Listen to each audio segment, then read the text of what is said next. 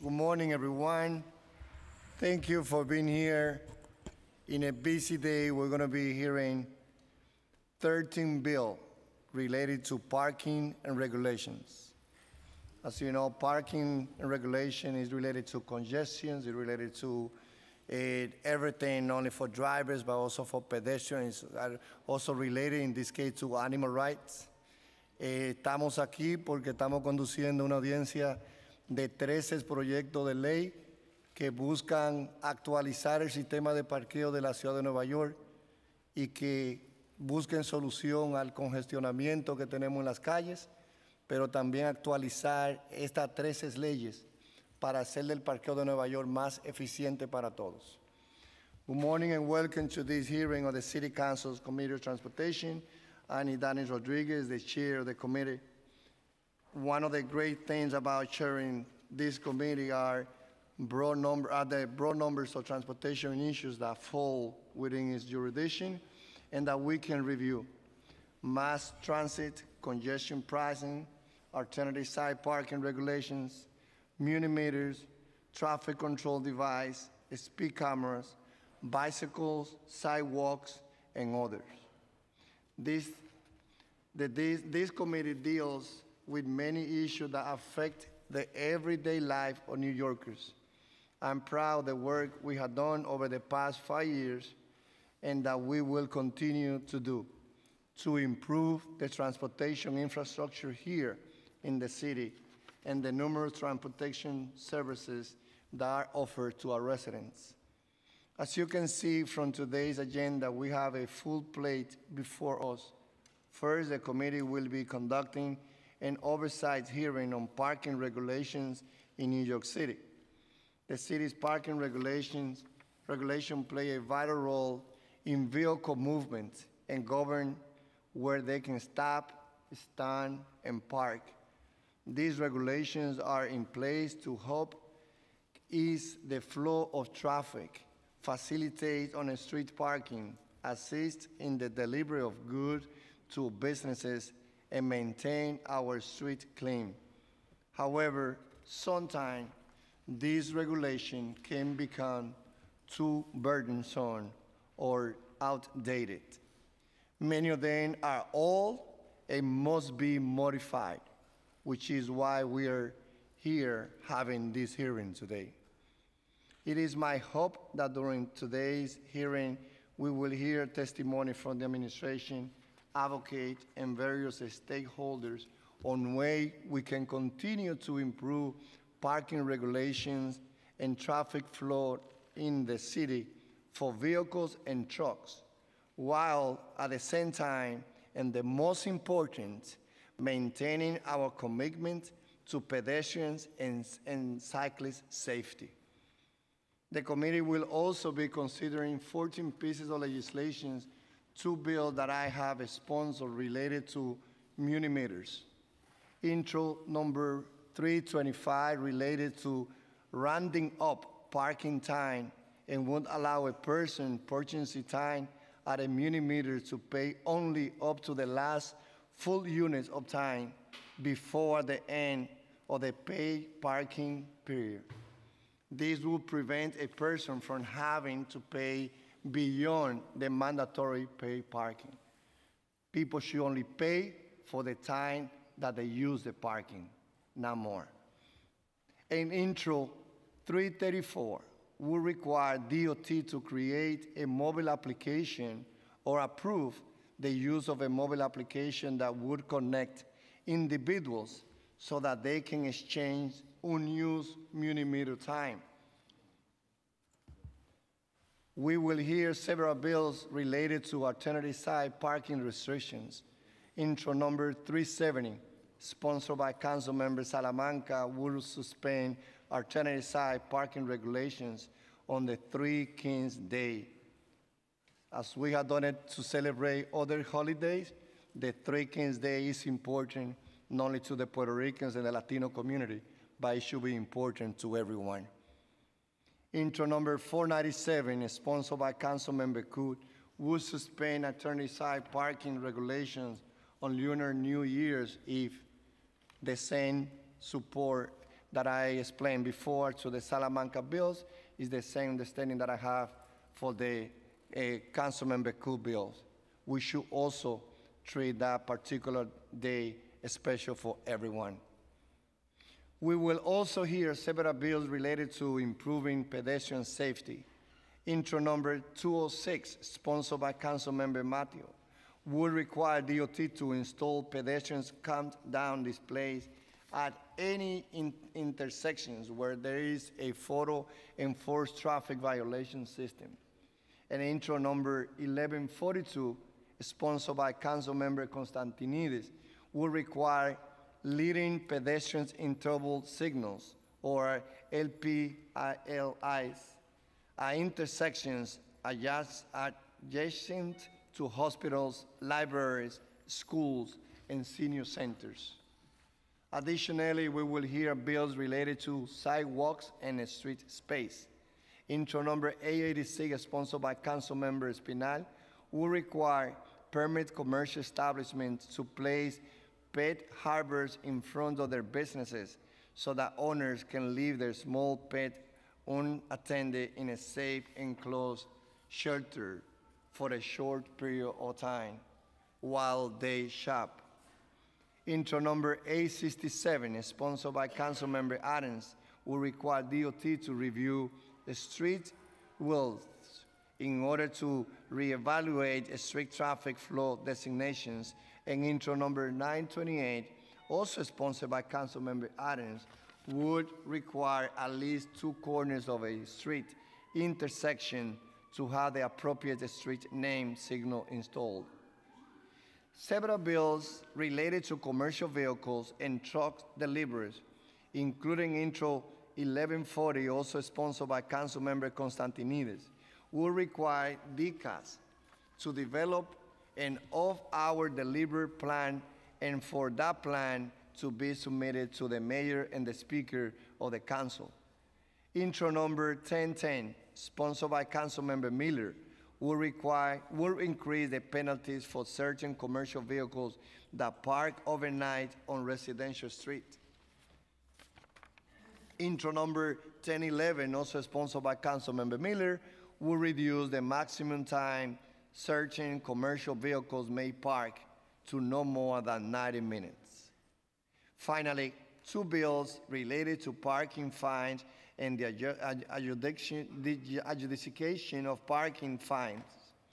Intro number 570, sponsored by Councilmember Treyger, will, will waive, waive parking violations issued to motorists who park their cars in a spot that have illegal parking sign- signs.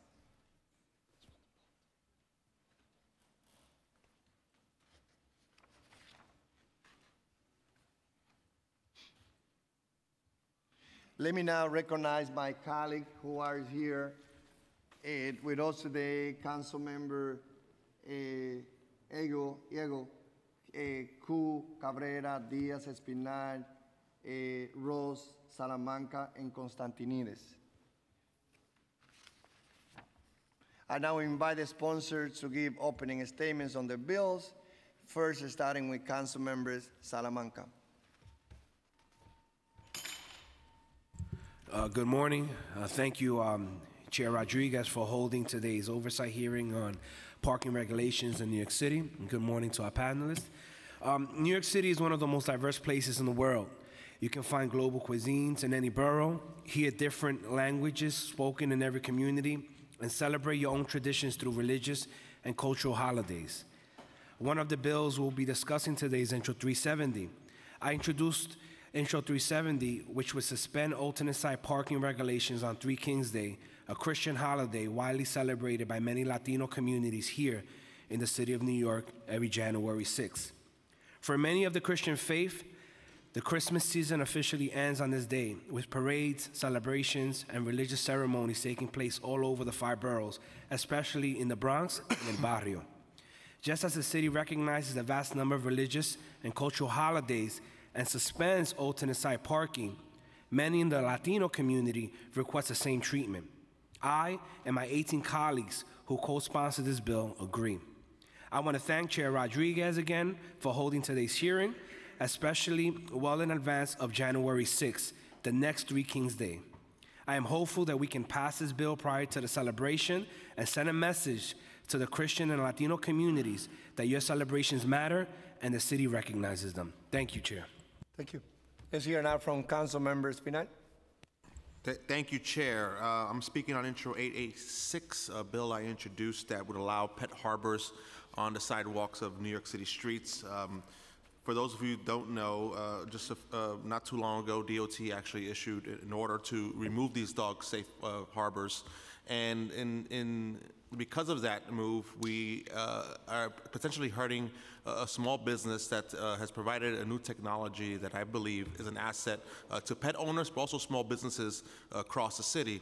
So what my bill would do would actually uh, car- carve out these pet harbors, as we have done in the past, to carve out other coin machines, so to ensure that New Yorkers uh, can can um, you know live a, a, a live in our city, knowing that there are these conveniences for them and their pets moving forward. I do have some questions, and I won't be able to stay here for the rest of the hearing. But you know, my questions are: one, why why does DOT uh, feel that pet harbors are any different than any other uh, coin machine in our streets? Um, and, and two, you know, why are we setting an example where we are not being open to the idea of new um, businesses, new technology, uh, actually paving the way for how our city should move forward? Why are we putting laws in place that would um, get in the way of these businesses to be able to expand in our city? Thank you.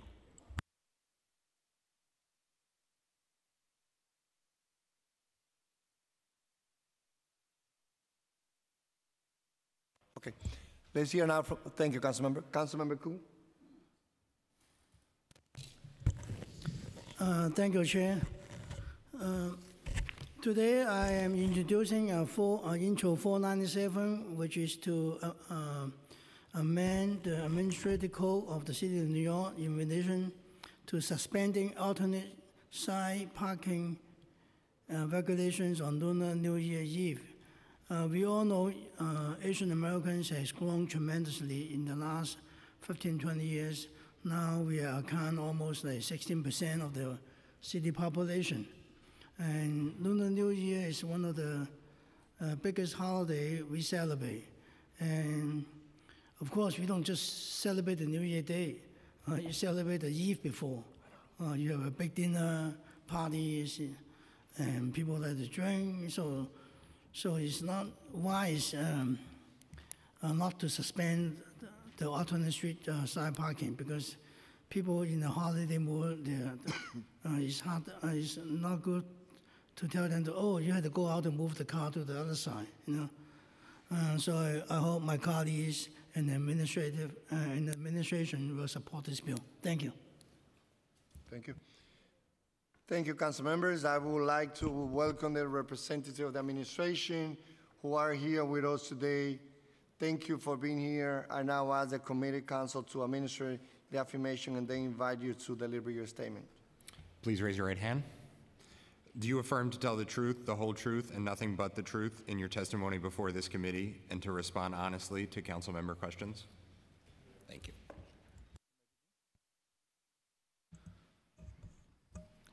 Good morning, Chair Rodriguez and members of the Transportation Committee. I am Deputy Commissioner for Traffic Operations Joshua Benson, and with me today is Assistant Commissioner for Intergovernmental and Community Affairs Rebecca Zack. Together with our colleague Edward Grayson, Director of DSNY's Bureau of Cleaning and Collection, we are pleased to be here to testify on behalf of Mayor de Blasio on a number of bills before the Council on the issue of parking, as well as several other topics.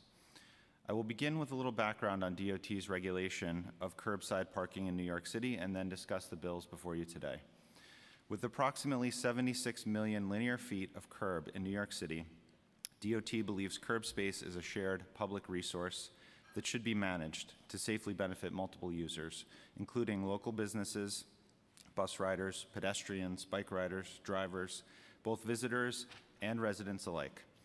Proper curb management, the policies, programs, and regulations which dictate the functionality of this space is critical to allow the city to expand its travel choices, support business activity, manage congestion, improve neighbor- neighborhood livability, reduce pollution, and enhance traffic and pedestrian safety. When it comes to parking, DOT has over 385,000 signs specifying who can park, when, where, and for how long. DOT maintains over 85,000 metered parking spaces, served by over 14,000 parking meters, and the Park NYC Pay by Cell program. As we testified back in June, we have accomplished two major transformations of our metered parking system in recent years, one of the largest in the world, through the transition to Muni meters and the launch of Park NYC. DOT is now exploring a third transformation towards an integrated payment, electronic payment, license plate-based electronic payment and permit management and enforcement solution. The rollout of Park NYC, together with NYPD's ACES enforcement handhelds for their TEAs, are potential first steps in this process, which would allow for much more efficient and fraud-resistant parking enforcement. Since Park NYC became citywide in July 2017, usage has steadily increased to the point where now one in eight of the 2.3 million parking transactions in a typical week are handled by Park NYC, and usage continues to grow. Customers have reported that they strongly prefer the app to using the meters and find it far more convenient. They know about, use, and like the ability to extend their parking session from their smartphone. And we are happy to say that the data indicates relatively high satisfaction with the app overall. On the other hand, DOT is learning that users of the app want to park longer than the one or two hour limits currently allow, po- posted uh, for most passenger parking, and may be willing to pay progressively higher rates in order to do so. This is something we are trying with our regulations in Manhattan below 96th Street, where we recently added a second higher priced hour to one hour metered parking zones to offer a little extra time for those who need it while still promoting curb availability. While some of the features proposed in today's bills are ones we could explore in the future, DOT is also actively seeking input from the public about how to make it more convenient for them to park and pay for parking using customer surveys to identify what improvements they would most like to see. In general, moving away from cash to, vir- to virtual payments will lend greater flexibility. When it comes to innovation, another area we are focused on is our regulations, which have not always kept up with the ebbs and flows of New York City. Changing land use and population shifts and evolving neighborhoods and travel modes are putting added pressure on the curb. New regulations, such as those for our car share pilot, are one example of needed in- innovation. But perhaps most glaringly, the structure of our metered parking rates for both passenger and commercial vehicles had not evolved very much as our city transformed. Incredibly diverse settings were served by similar regulations, providing little curbside management benefit to many areas that depend on meters to open up parking spaces for more people. Recent meter rate changes are one example of beginning, beginning an effort to more closely match the prevailing regulations with the current activity and needs of many areas of the city by creating a tiered approach. Finally, we know congestion is of concern to so many stakeholders, including, of course, this council. At DOT, we look to maximize the safe use of our shared street resources, including curbside parking, to address congestion and best manage this limited resource, resource in such a dense city. So that is why it is important for people to follow our parking regulations and why strong disincentives for not following those regulations are necessary. Now, beginning with intros 325 and 334. As DOT, including Commissioner Trottenberg, testified in 2014 and again in 2015 on predecessors to these two bills, we understand it can be frustrating to overpay for parking. I am pleased to report that one of the chief features of Park NYC is the ability to extend the parking session from your phone up to the legal limit. This allows users to pay for only the minimum time needed while retaining the ability to add time remotely if it becomes necessary to stay longer than expected. In practice, users report frequently taking advantage of this feature. Excuse me. Regarding the proposals before you today, A system for electronic exchange of unused time as proposed in Intro 334 is not something we have in our current system and would be logistically complicated. This is particularly true because the unit being exchanged is not simply remaining value, but remaining time, which is constantly diminishing. On the other hand, the option to pay from your phone as you go addresses the issue the bill seeks to solve by providing users a means to not buy more time than they need. When it comes to the last increment of payment before a meter's hours end and the occasional need to go over the metered time, the ability with Park NYC to pay as you go instead of in advance has reduced the occurrence of this as well. A system without the use of cash would no longer require the use of increments, perhaps a solution to the issue in certain areas in the future. Back when we testified in 2014, we produced some estimates of the actual amount of this type of overpaying. Of the amount that does occur, the majority is in the commercial environment. For passenger parking, updated for 2018, the amount is approximately $35,000 of overpayment for all transactions annually, or a figure equal to about 0.0008% of the payments we process in a typical week. On the other hand, the proposed solution would be an amount into the millions of dollars to absolve all parkers of the last increment of a meter's posted time. In partnership with the council, DOT took the major step, starting in 2013, of ensuring that meters are switched off and cannot accept payment outside the hours they are in effect. While this may sound straightforward, it was actually complicated on a programming level, and with a meter system as large as ours, the cost to implement was significant. We also implemented the ability to prepay before the start of meter hours so that you can pay for time up to the legal limit, starting when the regulations begin. Previously, if you arrived before a regulation started and you wanted to pay for metered parking starting when the regulation began, you were forced to pay for the time before the regulation, in addition, in order to park. These two steps eradicated the vast majority of overpayment issues faced by customers. Regarding both the bills today, reprogramming the existing system to meet these requirements would be costly and would take time to implement while providing a very small benefit. So DOT does not support either piece of legislation at the current time. But we look forward to continuing discussions about what we are learning customers want and making additional enhancements in the future for both customer satisfaction and to best manage our curb for the purposes I have mentioned. Next, I will speak about Intro 570, which would waive parking violations when a single parking sign is illegible. Our durable, high-quality signage has an average life cycle of 10 years, and accordingly, last year we installed 138,975 signs, or about 10% of our stock, and over 135,000 signs the year before. DOT operates the largest, largest municipal sign shop in the country to support the continual maintenance of our signs. As background, over recent years, DOT has undertaken an effort to update our signage and reduce the clutter of excessive signage. In replacing old signage with the current standards that will provide more legibility and better lifespan, we have focused on areas that we believe have a higher percentage of signs that are at or beyond their useful life. Overall, the public does a very good job of reporting signs that need replacing.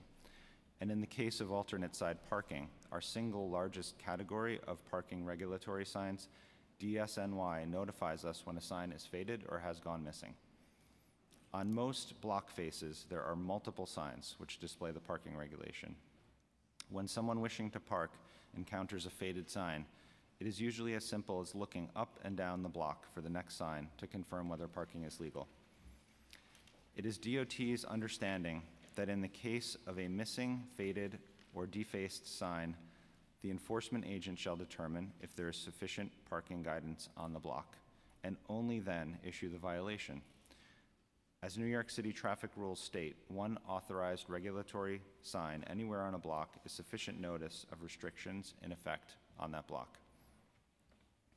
Finally, while the proposal may be conceived to further incentivize DOT to replace illegible parking signage, were, were it to be enacted, it might in fact result in more motorists defacing signs so that they can illegal, park illegally without consequence, only leading to further confusion of the current parking regulations. For these reasons, DOT opposes Intro 570, while we encourage motorists to follow posted regulations that apply. Next, on the topic of truck parking, this administration recognizes that truck parking overnight and in residential areas is a significant issue. While the proposed pieces of legislation, intros 1010 and 1011, requires further discussion, we are exploring charges that are available to more frequently enforce higher fines than are currently being used and are working with NYPD to determine the feasibility. At the same time, the need for truck parking in the five boroughs is a reality, and continued efforts involving multiple city agencies to identify new options or sites are necessary. Now, moving on to the topic of leading pedestrian intervals, or LPIs. Intro 1142 would require DOT to install at least 400 LPIs annually at signalized intersections adjacent to hospitals, schools, and senior centers until all such intersections have re- received an LPI. On behalf of DOT, we strongly appreciate the Council's interest in the aggressive implementation of this proven safety measure. We have installed 2,774 LPIs since the start of Vision Zero, including 855 last year. To put this in context, since Vision Zero started, installations are up by 5,000%. In fact, we are hitting more than double our goal every year.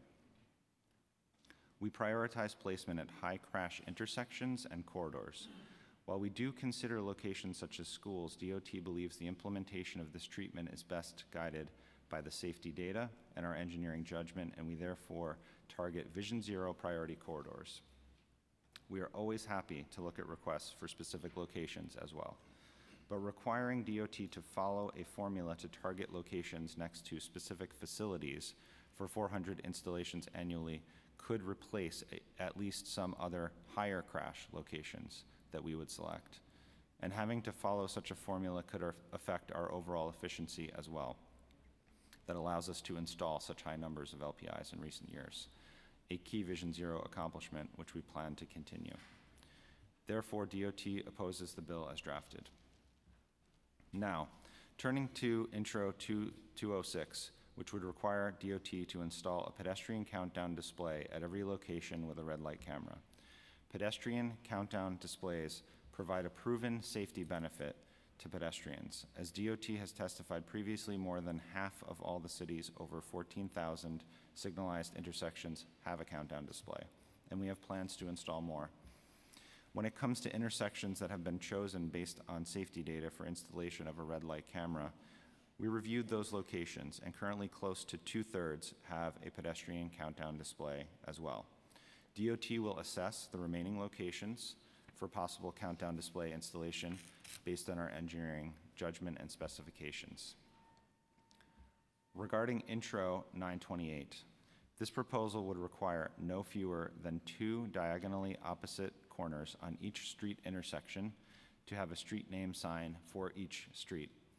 This is the goal of all our intersections, and it is the standard we are meeting when we replace approximately 12,000 to 13,000 street name signs each year across the city. However, meeting the, the requirements for all the intersections citywide within 180 days of enactment as required by the bill would be a significant challenge to our resources and would divert efforts from vital safety work. Therefore, DOT opposes the bill. Regarding Intro 867, this proposal would require DOT to assess every street in the city to determine whether to change its one-way or two-way designation. Conversions to one-way are in our Vision Zero toolkit as part of our street improvement projects. Such assessments are appropriately guided by our data-driven approach for safety improvements or by community interest. However, assessing all of our 6,000 miles of street in New York City for whether they should have one-way or two-way traffic flow is not an appropriate targeting of our resources. Therefore, while we are happy to further discuss the topic of conversions, including how to identify the streets on which to focus, DOT opposes this bill. Regarding Intro 886, to permit pet harbors to be placed in front of commercial establishments, modeled on an existing law for coin-operated rides, which dates back to at least the 1980s. As you know, our city has grown significantly, so have the demands placed on our sidewalks to accommodate larger numbers of pedestrians, and our focus on accessibility for persons with, with disabilities has never been greater. DOT does not support this use of the sidewalk in light of population growth, accessibility needs, and other potential uses of the sidewalk space. In addition to DOT's purview, other city agencies have potential concerns and are in the process of reviewing this legislation. Regarding intros 497 and 370, to add additional holidays to the ASP calendar. DSNY has testified on similar legislation in the past and remains opposed. These bills eliminate two additional days of alternate side parking during the year, in addition to the existing 34 alternate side parking holidays that are already in place, some of which are for multiple days. DSNY believes that their street sweeping vehicles are the most effective tool in the city's street cleaning arsenal, and further reductions in street cleaning regulations would limit the effectiveness of this tool. We at DOT refer additional questions about these bills to them. Finally, regarding Intro 1140, promoting off-hour deliveries is an important tool to reduce congestion and emissions. DOT's off-hour deliveries program focuses on shifting truck deliveries from peak periods to off hours in conjunction in specific, conge- in specific congested areas such as Midtown Manhattan, downtown Brooklyn, Flushing, and Jamaica. We conduct targeted outreach to business locations and also work with transporters and receivers to facilitate curbside access needed to support such deliveries. The bill before the committee today is a worthwhile proposal that this administration, including DCAS and DOT, would be happy to explore further before possibly implementing a plan. Challenges to off-hour delivery can include the transporter's ability to service off-hour deliveries, the availability of secure drop-off facilities, the potential for refrigeration if needed, and other logistics. DOT has already initiated an assessment of deliveries to DOT facilities to examine opportunities for improving freight efficiency. I will finish by saying that with so much density of people and activity, we all know competition is very fierce for the many uses of street and sidewalk in New York City. At DOT, we are continually improving and innovating how we manage this valuable resource safely and efficiently for the greatest benefit while balancing all of those competing uses. Regarding some of our other signal and street treatments we are discussing today, DOT welcomes conversation with the council about how we utilize all the tools in our toolkit. And as I have said, we are always happy to review a particular location. We would now welcome any questions. I will have some question, but uh, my colleague, Councilmember Salamanca, had to go to the Bronx, so I will let him to go first. But of course, I, I appreciate that you got from DOT sanitation is here. I'm a little bit frustrated that there's no one from traffic. And I hope that, you know, that a issue that has many bills related to traffic, I know that from DOT perspective, you can answer some of the question, but it doesn't make sense that no one is here from traffic enforcement to be able to respond some of the question. Uh, Councilmember Salamanca. Thank you, uh, Chair Rodriguez. Um, thank you for your for your statement. Um, I'm, I'm, my my question is really you may think I'm going off topic, but I'm going to circle it back uh, to my uh, to my to my statement or the, the reason for my bill, which is um, Intro 370, uh, which would require that Three Kings Day uh, on Three Kings Day alternate side parking be uh, suspended. And as I stated in my statement, you know, this, this uh, holiday, it's, um, it's a holiday that's celebrated by, by the Christian and Latino communities. Uh, but yet, in your, um, in your statement, DOT, because this is your statement, there was no statement by sanitation, you're opposed to it. I have a question. Can you explain to me the diversity in your leadership? I am interested in knowing who in DOT will be opposed to canceling alternate side parking on a holiday that's highly respected and celebrated by the Latino community, yet you feel that it's not necessary to cancel alternate side parking. So can you explain to me, how many Hispanics do you have um, in the leadership in, in, in, in, um, in DOT? Councilmember, I appreciate the question and definitely understand the importance of the holiday. And the, the statement that I read um, is about cleaning, and it, it comes from DSNY, so I'm going to defer the, the question to. uh, No, I, I understand that, but I'm just curious because the Department of, of the Department of Transportation sent you to come and give a statement here in City Hall. I would like you to tell me how many leaders, how many Hispanic leaders are there in the Department of Transportation? Councilmember, I can get back to you with information. We don't know. that. Exactly. You don't. You have no idea how many Hispanic leaders there are in the Department of Transportation. Yet you want to sit here and tell us that a holiday that's highly respected by the Hispanic community cannot get an alternate side parking suspended. We, I just want to clarify one thing. We were, uh, because there's so many bills, and it's just only a couple bills for DSNY, we were including their testimony in our testimony, so be a little more streamlined effect. We don't oppose the bill. We were speaking on behalf of, Well, your statement says that you are I'm- not supporting the bill, so therefore you're opposing the bill. I think we were, we could have clarified that a little bit better on behalf of DSNY. The oppo, is the opposition. So you do not know how many Either- Hispanic leaders you have in the Department of Transportation? I don't know that off the top Okay, of my all head. right. Let- I'm thank you. sorry, and, and, and let I'm me. sorry, Mr. Let Chair. me, yes, interject with this. You know, everyone live with the pride of the, the group that we come from and make this city a great place. The Jewish, the Italians, the Irish, the Afro-American, Latinos, Black, and others.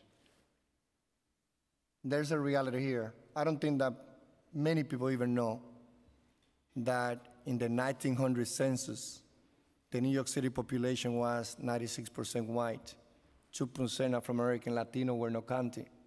Today's population is 29% Latino, 27% Afro-American. Together in the 15% Asian, we made the largest group here. Based on Angelo Falcon, who unfortunately died, a great academic, and I don't think that anything has changed. I do give credit for some improvement that we have seen in the city.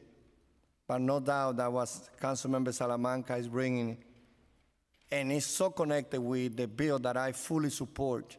And I hope that we can work together because it's important, should be important for everyone. This is important to the second largest group of, of, of New Yorkers in the city. And adding to the question, there's a reality. There's 10,000 leadership positions in the city of New York, and there's only 200 Latino in leadership position. So yes, we are lacking that fair share representation in government, academic, media, and all places. And that's why when we have any hearing here, you're only going to see a lack of Latinos sitting there representing us. And I think as the Afro-American community have been very efficient making the cases. Anytime that there's a panels and there's no representation of the Afro-American community, they speak loud and clear. And we are in solidarity with the call. But it is our time to, say, where is our Latino seat in all agencies? So the reality is that, no, there's not Latino fair representation in any agency of the city of New York. And that's why probably there's a lack of understanding of how important it is to work in this bill, not only for Puerto Ricans or Dominicans, but for all Latinos. Thank you, Mr. Chair. Um, my question to sanitation, um, how many Latino leaders do you have in the leadership in the Department of Sanitation? No, is it? Uh, Good morning. Um, My boss, the first deputy commissioner, is a Latino. Uh, We have a couple of chiefs that are Latino, so we have Latinos at the upper ranks in sanitation. I don't have an exact number to give you, but I report directly to a Latino leader every day. That's awesome. Um, so, uh, can you explain to me why would the Department of Sanitation be opposed uh, to a highly respected holiday in the Latino community? Um, We're not opposed to uh, the... Alternate side parking, canceling of the. No, alternate no, side- we're, we're, we're opposed to canceling of alternate side parking. We are not opposed to it because of the catalyst event. Our job, our core mission is to keep the streets clean. We work very hard to try to do that. Our most effective tool in keeping New York City clean for all New Yorkers, regardless of race and denomination, is our most effective tool is mechanical brooms. In order for those tool- that tool to be effective, we need the ASP regulations in effect. So we oppose anything that takes a day away from us being able to clean up. That, that's what we're opposed to, not, not the cause, not the requester's cause, just the fact that we can't get the street clean every time the suspensions are lifted. So, thank you. Um, Mr. Chair, again, I really thank you for your support, and I want to thank my 18 uh, colleagues who have signed on to this bill.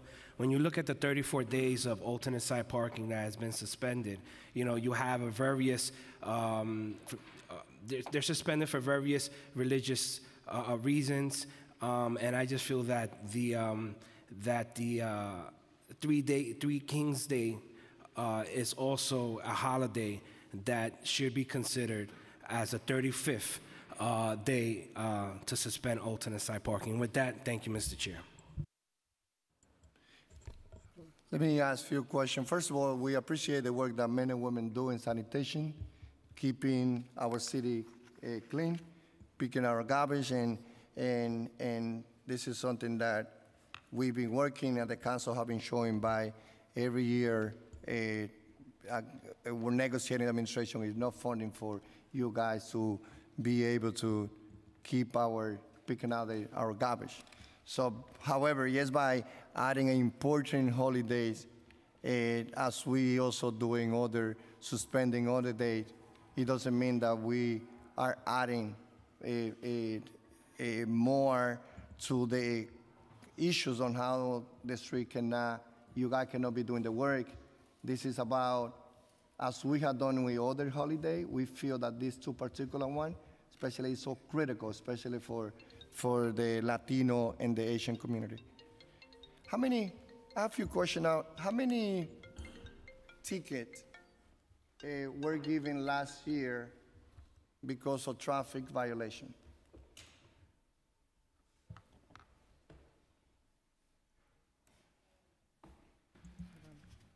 Council member, we, um, we don't have the, uh, the, the parking violation data with us. We could certainly get that back to you.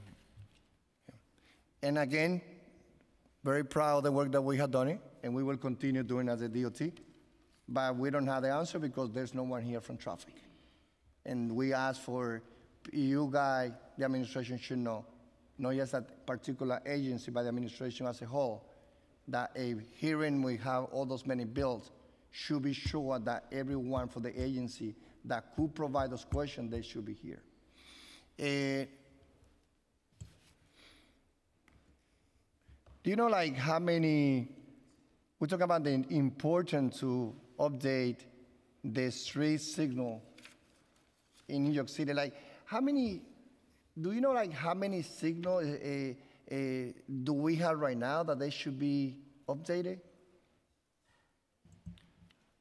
Can you um, clarify the question a little bit? We have, four- we have 14,000 traffic signals, tra- tra- intersections with traffic signals. Yeah. What do you mean by updating them? Yeah, fire drive that, that they are not working anymore, that is still people are getting ticket because they are not used anymore. And it's still, the city has not updated those situations. Churches that they used to be open. Oh, you mean movies- the, the parking signs, not the a parking traffic sign, signal? yeah. Because when a traffic signal is Yeah. out, we dispatch emergency res- Like how response many- to that. how many How many signs in total? Sign do you feel that should be? Parking signs Yeah. Hmm? are like defaced or faded or whatever. I'm actually not sure. Yeah. So at, at any given moment, I don't think we know the number. What we do is we rely a lot on the, the public in particular and the council members, your, your constituents, to report any issues like that that they see. But we where- need to know because we are reaping New Yorkers their money from, we taking their money not as an individual, as a particular agency. We as a city are taking money from the package of people. Like there's a movie theater, I can, and it's not enough to say, council member, please give you the information. You know what I mean? Like, why a movie theater used to be working at 181st and Broadway, and that movie's been closed for the last two years. And DOT, they don't get it, that, that part, no parking sign. should be removed immediately. And you know, know you as, a, as an institution, who every agency got a report that that movie theater is closed. That sign should be, if it's not in needed because of pedestrian safety, which I support it, why Park Terrace West? There's a fire drive that is not working anymore. And residents in Inwood, they getting ticket, and that's because we need that money to balance our budget. Why sanitation is continue like, you know, like sometimes giving ticket in area like people sitting waiting for the sweeping truck to pass by and still giving those tickets when the driver they just there waiting to move their car. So when I look to those signs, my concern is don't come and tell us only give us the information. Because I can tell you with the importance to allow the, the, the dog owners to be able to work with the business and establish, you know, the, the, the hybrid space in the front of business. As you know, I'm all about sidewalk. I'm all about pedestrians and cyclists as a top priority. But for me, doesn't make sense. And everything is local, but what I can tell you my story is the same thing that I know many council members can tell you. A year ago, I told you guys and show you a photo. San Nicolas Avenue between 180 and 181st. A business owner take 90% of the sidewalk plus the street. If you go right now, and you guys are not enforcing on someone who, and DOT has information, traffic has that information, and say we work on, work on it. So when we have major issues, or someone that is taking like 90% of the sidewalk, and you doing nothing, and all of that, but even taking the street right now, if you go. And here there's an initiative or something that is part of the life of everyone New Yorker to say, whoever own a dog, they should be able to put it in a location close to the business to have a dinner. So how can we balance, you know? How can you work with us to be sure that we go after those who violate, you know, every day? And I can tell you right now, cases, that's one as many that we know in many, that we have in many communities. People who are abusing the use sidewalk. And we as a city are doing nothing. And then here we have a, a suggestion, a bill that is important for a large percentage of New Yorkers who own dogs, who say, how can we work? So how can we balance? One, how can we execute and go after those who violate, as my case, the one that I told you, and I get information to you guys a year ago. And at the same time, work with something that is important for a large percentage of New Yorkers to, for them to allow to take the dog when they have a, a, a brunch, when they have a dinner, when they have a coffee. You're, you're referencing the grocery store in your district, correct? Excuse That- me? The grocery store on St. Nicholas Avenue, that's. Nicolas That's, between, right, the one, eight- that's the one. And I think there had been a, a multi-agency effort, I think also with DCA. What are we But I- I- waiting right, I- for? I know, can I, get- can I get more details from my borough office and follow up with you you can, but you have a year ago, many times, over and over. Understood. And anyone go right now and take a photo, abusing the whole sidewalk and abusing the street, in both sides of the street. So, one, work with me, work with us in cases where people are abusing, they are excessively using the sidewalk that they are not supposed to. They're supposed to have three feet. And then let's work with us with the bill, as we have many representatives of animal rights who love the pet, who love the dog, and the council member here, and let's see how we can work around that bill.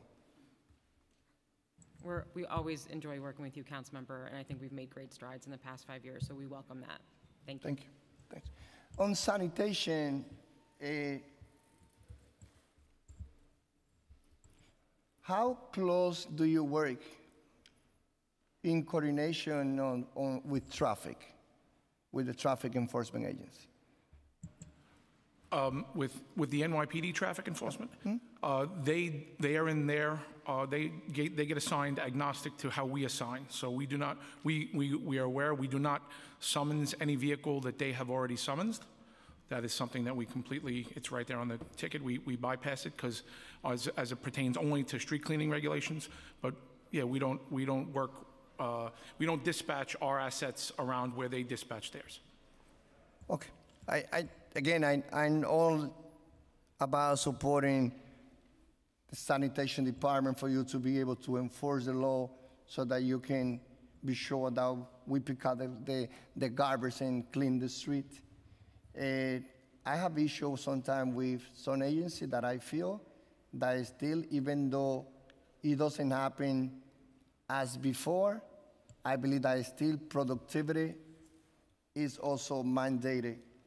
And there's like a number of tickets that enforcement had to give every day.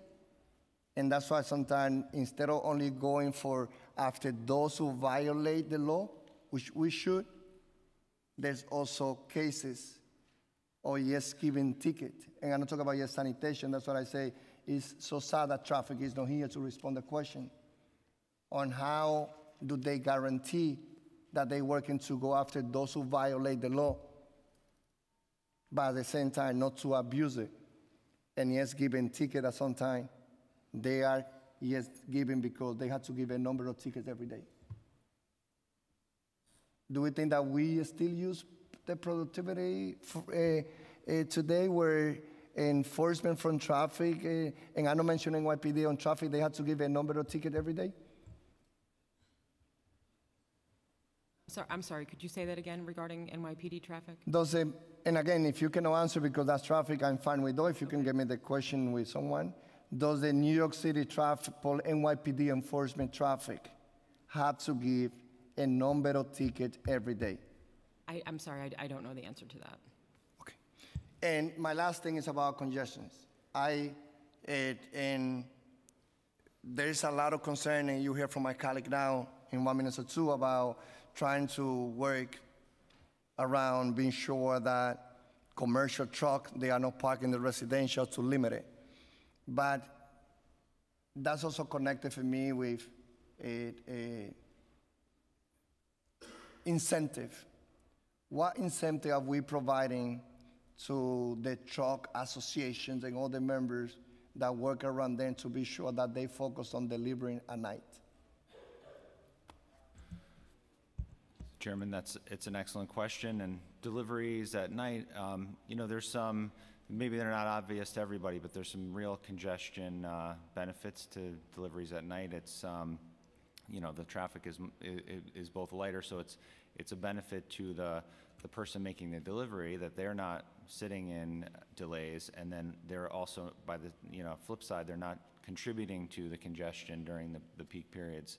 Um, So at DOT, we have an off-hour delivery program, and that consists of uh, doing outreach and demand management with both, um, both uh, receivers of deliveries and transporters, and um, trying to work through their concerns and, and make a match where we can. Um, And it's difficult, there are a lot of challenges, there are a lot of um, you know, there, there are a lot of reasons why people take deliveries during the daytime, quite frankly. And, um, you know, uh, particularly on the, the staffing side at the receiving site uh, tends to be the biggest um, challenge. And so one of the things we, we try to encourage people is to look at lock boxes and other ways of, of securely receiving goods um, while no staff are present at the, at the facility. So, um, so th- those are some of the things we work on. There are about 100 businesses right now uh, participating in the off-hour delivery uh, program at about 300 sites. Um, So, it- you know, we, we're just trying to build on that momentum. I, I just feel that based on conversation that I had with the stakeholder from the Truck, Truck Association months ago, eh, there's a need for, you know, DOT and DCAS to continue working close with them so that as we approach those bills that we have here, and I understand that it's important to protect the residential area, but that also work with the members of the truck association to be sure that when, as we continue addressing congestion that is real, and this is our time to put together a comprehensive plan related to congestion, that those institutions who deliver food and other goods, that they also continue being engaged with DOT and DCAS to talk about incentive eh, and not only eh, on going after them. So that's one thing. My last thing is about my two bill. One is the the the one that is will rounding up parking time. I feel that people should pay only for the time that they park. If someone need a park for 50 minutes, they should be only paid for those 50 minutes. They should not be forced to pay for an hour. And I feel that the technology is there for to make that happen. And I hope that we can continue conversation about the rounding, rounding up. And I know that we have started uh, many times being on opposite side in some bills, in some initiatives. At the end of the day, through conversation, we decide to do things through legislation. And as the agency, any agency, now in the future, in the past, we prefer to do more by themselves. But I feel that whatever way through legislation or, or, or through the agency, the rounding up parking time is needed. Someone should not be paying more than what they're using the time. The second thing on the intro 334 that we require DOT to create mobile application or approve the use of mobile application that will connect individuals so that they can exchange unused muni meter time. Whoever pay is their time. It's not our time. And it's their money. And again, I remember coming back from DC when I introduced the bill that will ask mandate DOT to add to create the ad application. And we were able to work together with you guys. And we did it through the agency. One more time here, technology is there. Why you say that that probably eh, eh, there's some complication how to do it, you will hear from many tech field that that's doable. That we should be able to work to allow exchange unused muni meter time. As a council member, as I've been told, there has been, there- there's bill that I have that I've been told by stakeholders, and they say, look, if you pass this bill, the city will reduce $35 million because, you know, we will not be able to enforce in those areas. And I think that, yes, we will need this money to keep more library open, we get more hours to the library. But this thing is about technologies is there, and how can we work with the tech field to be sure that if you have any doubt on how that can be addressed, that we can work on that bill. Mr. Chairman, I, I agree that, you know, we have uh, a lot of great ideas um, on the tech side that could make some of this possible, and I think we, we absolutely want to keep working with you and keep refining um, our Park NYC app. You know, it's, uh, we, we just, you know, launched it now only two years ago, and I think um, absolutely, we don't see this as, it's not perfect, it's not the, the end state. We want to keep refining it and working on it, so we'd be more than happy to work with you on delivering some more uh, benefits to the, the customers and, and finding ways to eliminate, you know, further eliminate any overpayment that may be happening. Okay, thank you. Councilmember, I would like to acknowledge that Councilmember Reynoso, Miller, Levin, Deutsch, and Levin, they are, they were here, and now going to question in five minutes, Councilmember Koo. Uh, Thank you, Chair. Thank you, Commissioners and, and, and, and Director. So my question is, uh, I'm I'm very disappointed that the administration is opposing uh, the Bill 497 and 370, because uh, we always said this is a city of diversity, we s- celebrate culture and ethics, uh, heritage for every uh, group of people in the city. So my question is, you said you will make the street dirty if you put two more days on the schedule. So what does you do on, on, on a particular day of uh, sweep, sweep, sweeping, alter, alternate side street of uh, cleaning? What does sanitation do? On that, uh, or the particular hour or two hours that you cannot park the, uh, on, on the street, right? Yes, so you- you're asking, just so I'm clear, you're asking what do we do on the Yeah, days yeah, that it those- is suspended? Yeah. Well, the, the mechanical brooms um, will still go out in a limited number to get, because there are some, uh, there are some open curb lines, regardless, they, they're not directly ASP-driven that we also clean. Uh, So we will put them out to add some level of service, but the routing of our regular posted signage, those regulations, does not get completed on any day that it's suspended. So when, when we celebrate a holiday, uh, particularly like Asian uh, Lunar New Year or the Lunar New Year Eve, we, we don't have a parade. You know, the sign, the streets are not dirty. You know, we won't make the streets more dirty. We celebrate at home or in the restaurants. So why does it affect the cleanliness of the streets? uh, actually bring a very good point. It's not directly related to any holiday. Unfortunately, there is uh, litter in the city every day, regardless of holiday, and our mechanical brooms are our most effective tool to clean the city for all New Yorkers every time we run them. So it has, we're not saying that, mm, our position is not that any holiday would impact direct brand-new litter being put on the street.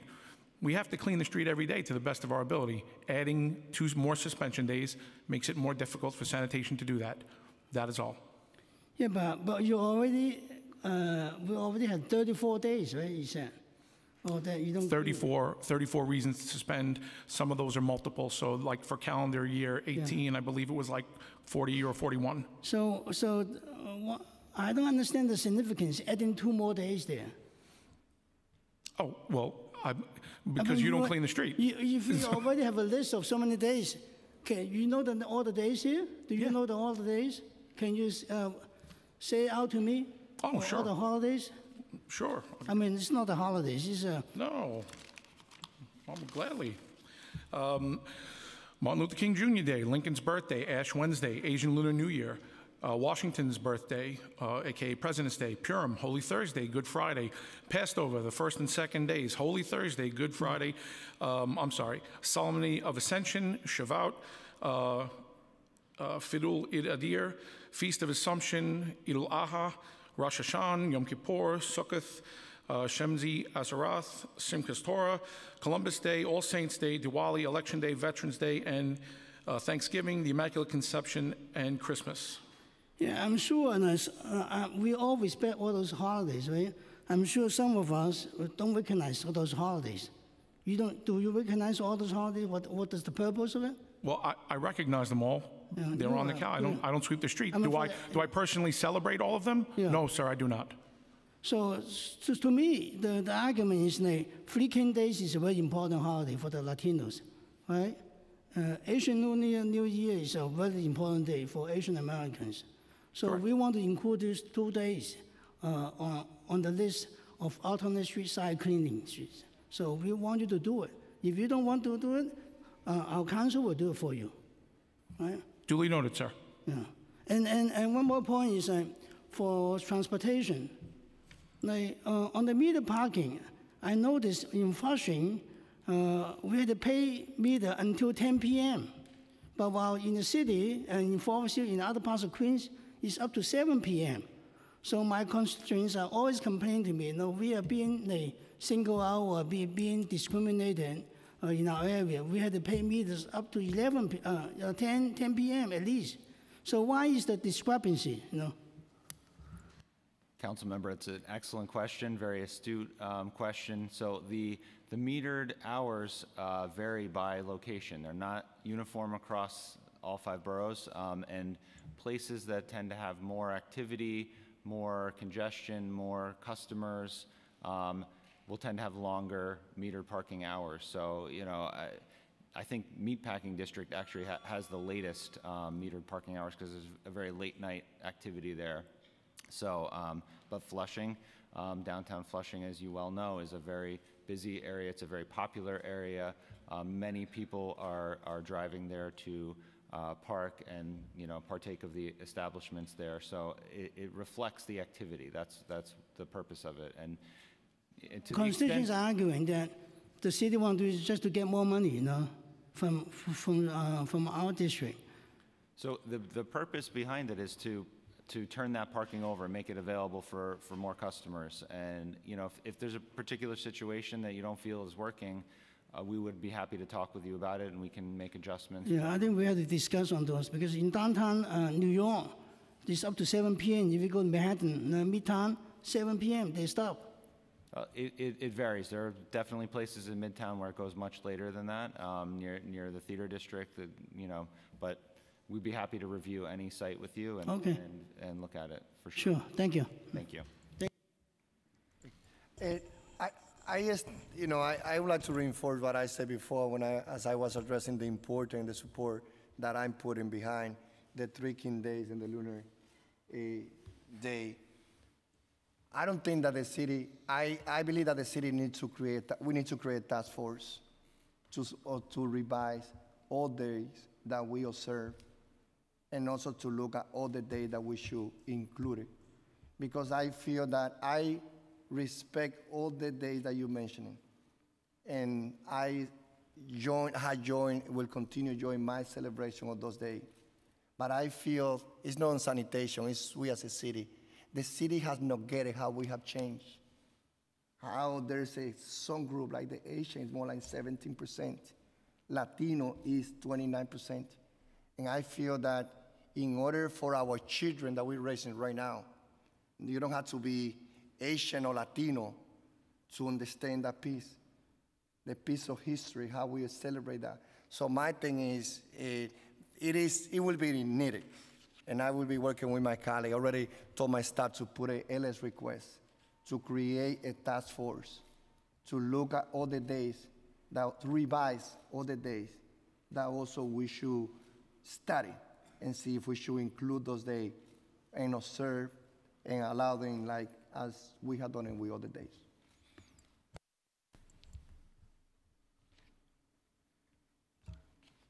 I would like to acknowledge Councilmember Menchaca and now Councilmember Yeger and eh, followed by Councilmember Constantinides.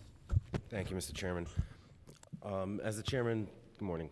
As the chairman uh, indicated earlier, we're hearing 13 bills today designed to make it easier for people to live in New York, to do business in New York, to make it fairer, to make our streets safer, to recognize the various cultures and religious observances that people have in the city, to uh, rid our residential neighborhoods of commercial parking, to keep trucks off neighborhood streets, to do good things for New Yorkers. 13 bills. I listened to your testimony. I read it before you started speaking, and then I listened to every word you said. Not a single one of those 13 ideas are things you agree with, as currently written. Not a single one. I don't agree with all 13 bills. I co sponsor some of them because I think they're great ideas. Some of them I think are good ideas. Some of them I need to be convinced. But in a universe of 13, I was able to find at least one that I thought was a good idea that I could sign on to. You can't find a single idea in these 13 bills that you like. And that's not the only 13. Chairman Rodriguez has a bill that would allow people to reclaim their streets and their neighborhoods after the street sweepers have gone by. So, in a 90 minute zone, when you can't park and the street cleaner comes by in the first 10 minutes, the next 80 minutes go back to the community so people can park again. You oppose that. It's not being heard today, but you oppose that. There are a number of parking bills that are not being heard today that you oppose as well. So let's just talk about the universe of 13. Not a single one of these bills is something you can live with. Not a single one of these ideas is something you can say, you know what, council? You also got elected. You're here to serve the public. We'll agree with that. Some of these bills have the votes to pass. I'm not sure what it is that you really want from New Yorkers. I really don't. I really don't. I wake up every morning and I see some of the things that DOT does, some of the things that sanitation does. I, I appreciate that. You pick up the trash, I really do. But in my neighborhood, on the border that I share with uh, Councilman Deutsch, we have a um, we have a commercial area and a residential area that has midnight to three regulation. Middle of the night, people can't park on one day a week on the other side of the street. You know, it alternates. Trying to get that removed and changed to a 7:30 to 8 a.m. or an 8 to 8:30 a.m. so people can park overnight. It's hard for people to park overnight. They find I, I hunt for parking. Um, the Department of Sanitation opposes that. We don't have enough street sweepers, they say, to hit the streets from 7:30 to 8. it'll affect our ability to keep the streets clean. Nobody I know believes that. I, I don't even think your department believes that. But there's this resistance to change. The idea that you would oppose a bill that would require a summons to be dismissed if the sign is not legible because A, people can look up and down the block for the legible signs, B, because don't worry about it, New Yorkers, traffic agents only write tickets when the sign is very legible and otherwise they won't write a ticket. They only write good tickets, we all know that. And C, New Yorkers, you awful people, what we are, are gonna just go around with spray paint and start spraying up the signs. I mean, does this make sense? This is how our government is reacting to these ideas? In what universe does any of this make sense? I'm not even asking for a question. This is a reflection on what I've been hearing today. Parking NYC app, I, I use it. Um, when the time expires, even if there's more time that you're permitted to park there, you can't renew it. You, you have to wait about, I think it's 15 minutes or a half hour, even if you're still within that hour or two hour zone. So if I parked my car and pay 25 cents because I thought I'd only be there for 15 minutes, if I'm wrong, just wave your hand, I'll stop talking. Am I wrong? I just, just want to respond to that point on Park Okay. NYC. So it, the app should be allowing you to, to, p- to renew your time up to the time limit. If it's not. if it's a After, particular after zone- it expires, in other words, if I bought 15 minutes and If- now it's it ex- 18 yeah. minutes and I want to renew at the same meter, I can just renew it? So you have to renew it before it expires, and you, you should be able what I to just set it said. up to get an alert to, to No, no, no. renew I- it before the sir, expiration. I agree with what you're saying. I can do it before it expires. But I'm saying I parked for 15 minutes, put the quarter on the app, went into the dry cleaners. Below and behold, there's 11 people in front of me, so it took me 17 minutes. And I didn't take out my phone and put more time in. But now I realize it's 17 minutes later. Gosh, I got to put another quarter on the app. And I take out my phone and I try to do that. No, sir. No, you can't do that. You're, you're correct. That's and- right. And I think That's that's, a- something that's we would love to work with you on. and- Don't work with me on it. I'm not a tech guy. It's broken. It didn't break yesterday. It's been broken since the day you rolled it out. I, I'm not. I'm. I'm not here to to micromanage your agency. Anybody who follows me on Twitter knows I can't manage anything in your agency. But there there are things that you're doing that are so simple to to to not do, and you just don't want to do it. And then you come in front of the council, and I'm sorry that the commissioner couldn't be bothered. I'm sure she's very busy today painting bus lanes in my neighborhood. But the idea that, that you're here today and you can't find a single idea that we like, Mr. Chairman, I recognize the clock and I'll wrap up. You can't find a single idea that you, that you like. You can't find, you know these problems exist and the app has rolled out for two years and I've been using it for the entirety of the two years. I'm sure that's something that you can check and see my name in there and how much money I've put in it. I still use it all the time you know these problems exist. Don't tell us that, hey, you know, we, we know it's not a final product yet. No, no uh, technology product is ever a final product, but these are problems you know of. Um, replace the signs. It's not something, it's not rocket science. You know that a sign, you New Yorkers have to let us know when the sign is bad. No, your traffic agents have to let you know when the sign is bad. We pay them. Mr. Chairman, I appreciate your time. Thank you. Councilmember Koo? Sorry, Councilman Constantinides, sorry. Thank you, Chair Rodriguez. Um, So, just quickly about the LPIs. What is the process that DOT looks at for the installation of LPIs? Councilmember, thank you very much um, for the question and for Hey, your let's- interest let's- in LPIs. Really, um, we, we agree with you strongly that it's a great tool. And so what we do Mm-hmm. um, to roll them out is we're actually looking at places where pedestrians were, um, were injured over time. So we have crash data that we're, we're sorting through and looking for uh, corridors and intersections that show a history of those type of crashes, and that's where we focus the, the effort for LPIs. So um, it's, you know, it's, I think it's in the same vein as what you're proposing, but it's just a slightly different way of looking at it. All right, so how many do we install every year? Uh, Last year it was 855. 855? Yep. Okay, and how many of them were near schools?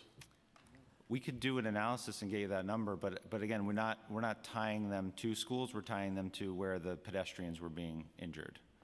So I- I don't know, the I don't have that number, but there would be many that are near schools, for sure.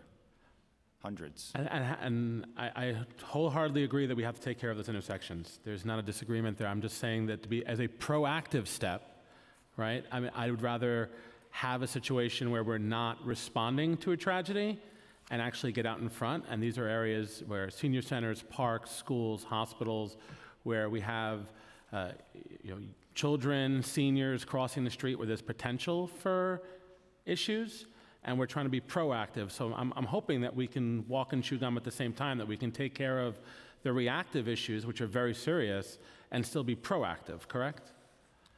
We, we would love to do both, and we do try to do both. And, and so I think we, we take any and all requests that people have for LPIs, and we, and we accommodate those as well as the approach I was describing. So I'm not trying, I agree very much so with you that LPIs are a great tool. We mm-hmm. are trying to prote- protect pedestrians in the best way we can, and there's an efficiency to, to, to doing groupings of them, and that's what we do. But we absolutely take requests and want to be proactive with you as well. And, and I think that we need to do more than just take requests. I think we need to be a little bit more proactive here in our, in our policy. Um, me being able to point out particular intersections, I may or may not get an LPI. They're a great tool. We should, we should come up with a more formulated idea than just me sending you requests, correct? Well, we, we would love to sit down with you and explore revisions to our, our methodology and see what, whether we could come up with uh, something that, you know, is a little different, different than what we've been using, but continuing to, uh, you know, address the need. All right, and so moving on to uh, the nighttime deliveries. Uh, You know, we all, I mean, I think that, again, I mean, I wholeheartedly agree with the administration's Vision Zero plan, and I think this fits within it. What would need to happen for us to get uh, an agreement with DCAS here to to make this a reality? So we've, uh, we've spoken with DCAS, and I think, um, you know, DOT ourselves, we've undertaken an assessment of our own deliveries as- to try to get um, familiar and, and come up with our own internal strategy around uh, evening deliveries. But I think, you know, they're eager to, to look at this issue um, with us, with you. So I think we could, uh, we could explore this further together, and I think um, it's something there's a lot of interest around. Yeah, I, I think that we need to get it done, right? As we're looking to reduce traffic on our streets, coming up and having the city lead the way when it comes to nighttime deliveries and getting those deliveries in during non-rush hour times when our streets are already packed, already dealing with lots of congestion. Getting city deliveries off the road during those times are extremely important. I think we have that shared goal, correct? Yes, I agree with you, and I think it's it's a paradox where you know a lot of it's hard for people to see what those benefits are. It's sort of abstract, so I think uh, you know demonstrating it is is the way to go. Uh, so do I. I think it's time for us to lead the way. So I appreciate that we're going to be able to get there on this, and I look forward to working with the chair to getting uh, this plan done. Uh, and then lastly, I'll just I'll just comment on this whole issue of the um, the DSNY opposition to these two bills today, and I'll, let's say how silly it sounds. Frankly, I wasn't going to comment, but just hearing the defense that somehow losing two days of, of broom is going to somehow you know, point our city in a bad direction when it comes to street cleaning, I, I, I find it to be a very flimsy argument. I, I really do. I think there are 365 days in the year. There are 34 days that are currently uh, that are suspended, adding two more uh, in the respect of particular holidays for our Latino communities, for our, for our Asian communities, just makes sense. And so the argument that we're making today, it, it, I, I hear it, and it, does, it just doesn't ring true in any way, shape, or form. So that's my comment. You can respond to that or not. Thank you, Councilmember. Councilmember Deutsch? Thank you, Chair. Uh, Thank you for this important hearing. So firstly, I I just want to commend um, Deputy Commissioner Rebecca Zack. That's the title I gave you. Um, And I could definitely say that you could walk, chew gum, talk on the phone, and listen, everything in the same time. So I commend you for being able to multitask, and we- I had a great experience always with you offline and online. Um, So I want to thank you for everything you do. Um, So I just want to uh, touch upon um, Intro 570. So um, in testimony, you mentioned that when a uh, sign is faded, it's as simple as looking up and down the block for the next sign to confirm whether parking is legal. So our city, just I want to mention that it needs to be accommodating for all. And it's very difficult for a senior citizen when uh, he or she needs to walk out of the car to start looking for unfaded sign uh, that's legible, as well as parents with children, um, you know, to walk out of the car. Otherwise, you would have to leave the kids behind in the car, which is not good. But then you have to walk out with the children to go look for a uh, sign that is legible. So I just want to make a recommendation that if we could do, um, you did mention that the public is not doing a good job reporting signs and that need to be replaced. If we could do some type of outreach, because I know sometimes it takes a while for a faded sign to be replaced. Do you know what the time the timeline is between a report uh, of a faded sign to when this when DOT corrects that? So, council member, it's an excellent question. Um, Safety-related signs uh, get the highest priority, so a stop sign, do not enter one way, um, and uh, parking signs are, are, are in the next tier, so it's not immediate, but um, I really like the idea of outreach to encourage reporting, um, if that's what you're getting at, to, to really, you know, get, get the information in so we can get out there and fix these signs right away. That would be a, a great way to handle the, the concern. Okay, so if we could do outreach, and I would definitely want to be involved in that and to let my constituents know that if we have a certain week that we could call it in, and this way we, we, we compile a list of all the faded signs uh, throughout the district. But also, when it comes to a summons, I know that DOT is not the one to decide if someone is found innocent or guilty. So um, we just need to send out a message just that if a senior, someone has a defense, this is something that is pretty common sense that if a person cannot get a legible sign, shouldn't, shouldn't always be found guilty, shouldn't be found guilty at all on that summons. Uh, one other thing I wanted to mention is the truck loading and unloading um, that was just installed recently in my district in certain areas that I've been working with MTA and DOT about. So I did bring it up to the um, to DOT that those signs, the new signs, number one, they are the same color as the other signs. So it's very difficult for people to really realize that a new sign came up and it defeats the whole purpose because people are parking in the truck loading and unloading zones without re- realizing that it's a it's a new sign. So two things. One, my request was if they could put it, uh, they could place put in another color like the no standing anytime signage and if they could do that like as soon as possible, because people are receiving summonses every single day now.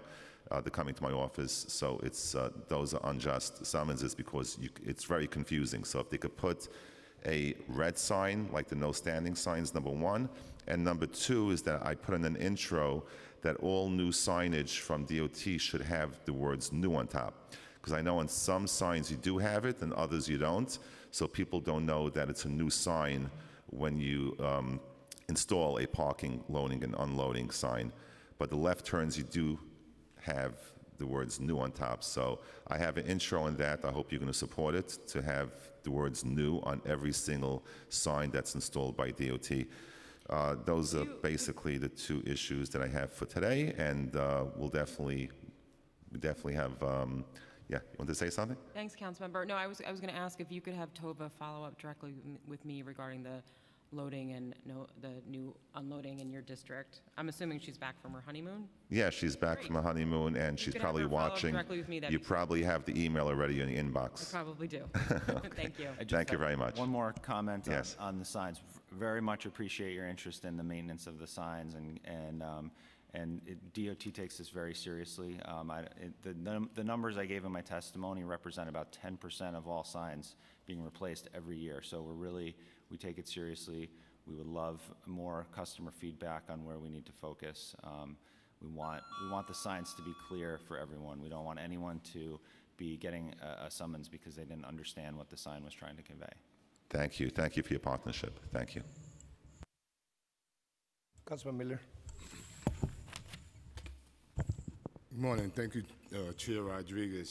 And I want to thank my colleagues for the introduction of these important uh, LSs and legislation that we're speaking about this morning um, in, in a number of different ways that reflect the, the communities uh, throughout the city, the, the, the needs and the values of communities. And so before I talk about uh, my intros, I- I'd certainly like to uh, to elaborate on those, uh, particularly uh, Three Kings and uh, Lunar New Year certainly reflect the values and the needs of a, a significant portion of our uh, community and our citizenry, citizenry around the city of New York, and, and certainly their quality of life and, and, and their uh, religious, faith-based, and cultural uh, commitments uh, are being impeded when we don't recognize their needs um, as we have uh, for communities in the past. So I want to go on the record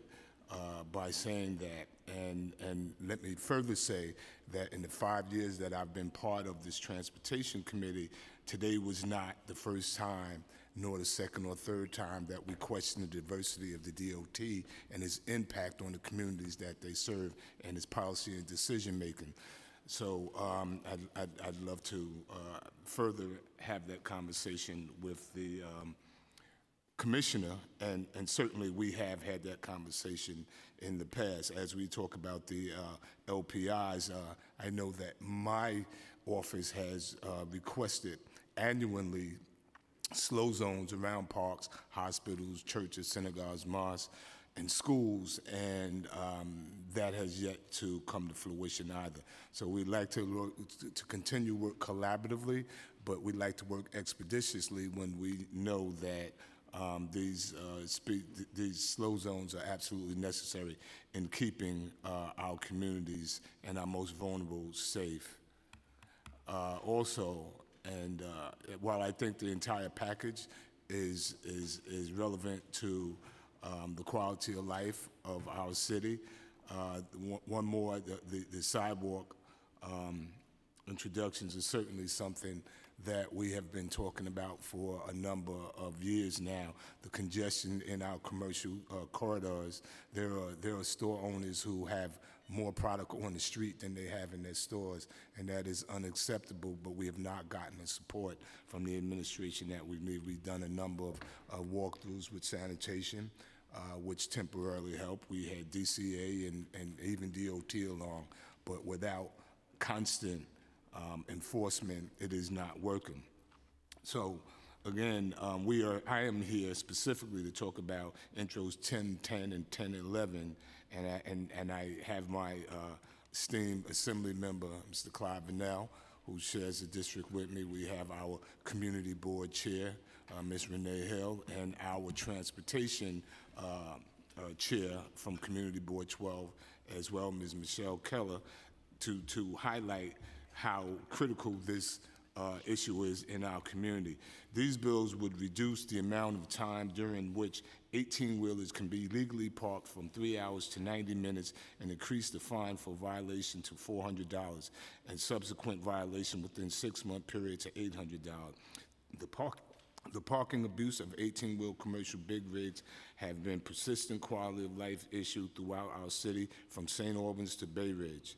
They reduce road traffic, the most uh, monstrous park next to our playgrounds, schools, homes for hours, sometimes even days at a time. They block fire hydrants, they idle to keep warm, cool in the summer and keep warm during the winter, all while being parked in these, our residential communities. As you can see by the photos that are displayed here, our neighborhoods are routinely used as privately par- private parking lots for these vehicles, which is simply unacceptable. The, con- the Commercial Truck Abuse Act will make the cost of doing business more than just the, the, the companies uh, can afford to bear, which they have always been more than willing to do in the past at the expense of our quality of life. And I want those would argue that the legislation is burdensome on small business to take a close look at these photos and ask themselves would they tolerate this abuse in their communities? And I dare say not. These proposals are not about doing harm to commercial trucking. They are about discouraging the most flagrant parking abuses by industry's worst actors. I want to also acknowledge the co-sponsor of this legislation for their great support, Councilmember Adams, uh, Richards, Koslowitz, and Constantinides. I look forward to this, the hearing and, and once again hearing from DOT and the stakeholders in the effort to address the, re- the regrettable lack of parking facilities uh, throughout the city for these commercial vehicles. Um, but let me just say that we have sat down with the commercial trucking industry. We've had these conversations with our colleagues, DOT, um, NYPD, and, and, and others uh, in an effort to resolve this issue. And sometimes um, it, is, it is our goal that we can educate so that we can bring about um, the resolve and, and create the quality of life that our, our, our, our communities so richly deserve. But when you can't educate, you, you, you must legislate. These pictures here are absolutely indicative of the abuse that communities throughout the city see. It is not limited to Southeast Queens. And when I met with the uh, commercial trucking industry, they submit that the uh, the the big guys, the the uh, uh, the um, FedExes and the UPSs and the others of the world uh, were not subject to that. That they had access to parking facilities. Well, I would submit to you that is just not the case. As we see, we see Target over here. I have here.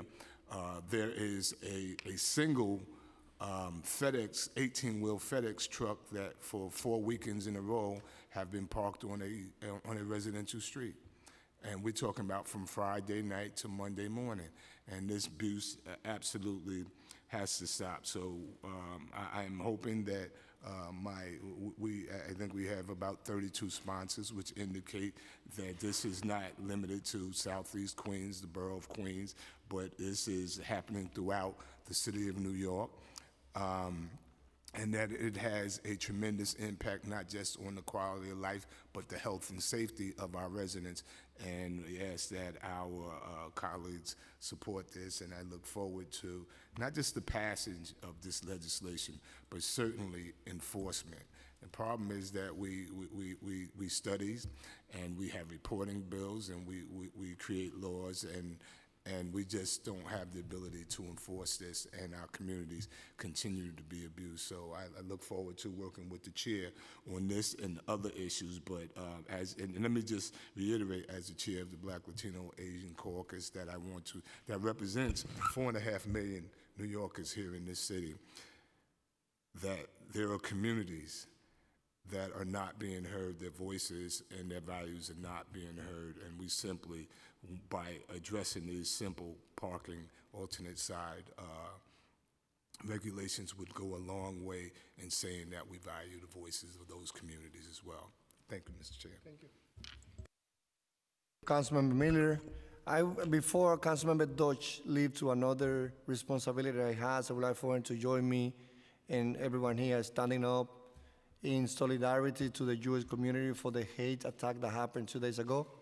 As we have said before, a attack against the Jews, the Muslim, the Latinos, the Asian, the white, the Afro American is a attack on all of us.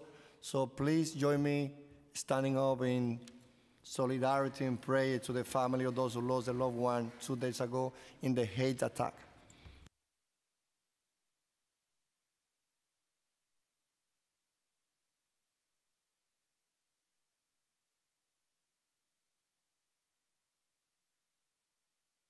Thank you.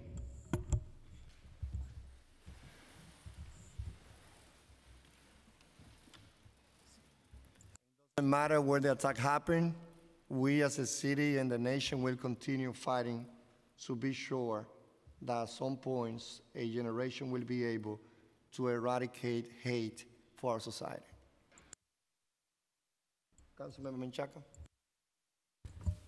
Thank you, Chair, and uh, we all join in solidarity for that message of healing uh, and solidarity. Thank you. I, I want to spend some time, I want to spend my time thinking about our, uh, or one of my favorite things, the leading pedestrian intervals. Uh, so I'm going to start with some, some kind of basic questions and then maybe end with an update on our project that we're working on together uh, that has more to deal with um, the bike relationship with the LPIs. And so I'll let your team kind of get an update for me on that, for us on that. But let's talk a little bit about LPIs in general. and the testimony really spoke to a vision about the LPIs that was connected to Vision Zero. But I want to get a sense from you all about what, what is your goal? Uh, you reference double, uh, in, that you're hitting more than double your goal every year. What is that goal?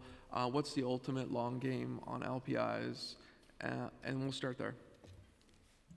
Thank you, council member. So um, as I mentioned before, we, at DOT, we believe that L- leading pedestrian intervals, a head start for pedestrian at an intersection is a very powerful safety tool. Um, It's a, it's a part of Vision Zero, um, and that's why we've uh, aggressively pursued this. We used to do, you know, uh, 10 to 15, 20 per year. uh, So what is, what is Zero. that goal today? So there's, there's a 400 target in the Vision Zero action plan, um, but But you're clearly not yeah, we. meeting no. that goal. You're doubling, you're Right, tripling that right. goal. And- so then, what, what's the real, what's the real goal around LPIs? I I mean, we're doing as many as, as the team can support, really. And I have, I'm very lucky, I have a great team who has been uh, attacking this with a lot of gusto, and I really. And I've met some of those folks, and they're work. incredible, incredible analysts and team members. So I, I guess I want to get to a sense of you, know, you, you have a you have a goal that you're almost ignoring because you're aggressively implementing them across the city because you believe in them, and we're trying to create a, a sense of, of relationship to to to areas that in our district are. Uh, vulnerable spaces. So I really want to get a sense from you and your team about what what what is that goal, that long-term goal, and and the aggressive nature of these of the the installation of the LPIs really tell me that a couple things. One, there's a limit. So there's only a certain amount of intersections that have opportunities for this. So that's we'll, we'll, we'll hit if we if we don't stop, we'll we'll hit at every intersection. And so, is that the goal to hit every intersection of the city? I want to get a sense, not just the, the kind of advocacy. Help me understand. Right. So, very, very good questions, and I appreciate your your uh, your um, interest in the details of how we do it. So, um, the the guiding um, light for us really is um, the Vision Zero priority corridors, priority intersections. So, going back and looking at um, crash history over time, where are pedestrians? uh, vulnerable by the, the fact that we know that people have actually been injured at those intersections and, and then focusing on those areas. So some of the biggest, um, the biggest streets that, you know, you might think of as being the, the high-risk streets in your community are the ones that we are focusing on. So like, let's say, you know, uh, Queens Boulevard, a Northern Boulevard, uh, a Fourth Avenue in Brooklyn, uh, you know, those types of like major thoroughfares are the ones that are getting the focus. Um, and they certainly include many schools, senior centers, et cetera. It's not that, you know, I don't, hope I didn't give the impression to your colleague that we don't think this LPI treatment applies to those facilities. It absolutely does. Um, However, what we're saying is, because of the urgent need uh, to protect life and limb, we want to focus on those facilities that happen to be on the streets that we know have a history of, of crashes first, and then move on to the streets that, that have less of a, of a history. Um, will we get to every intersection? I would like to. There are going to be some where it just, it's not really relevant because there's something else going on where let's say there's, there's an all pedestrian phase or there's turning phases where the, the crosswalks are protected in some other fashion. So there are some few intersections where it's just not really relevant to the way that intersection is managed. But for the most part, um, we're finding that it, it fits nicely on your, your typical intersection.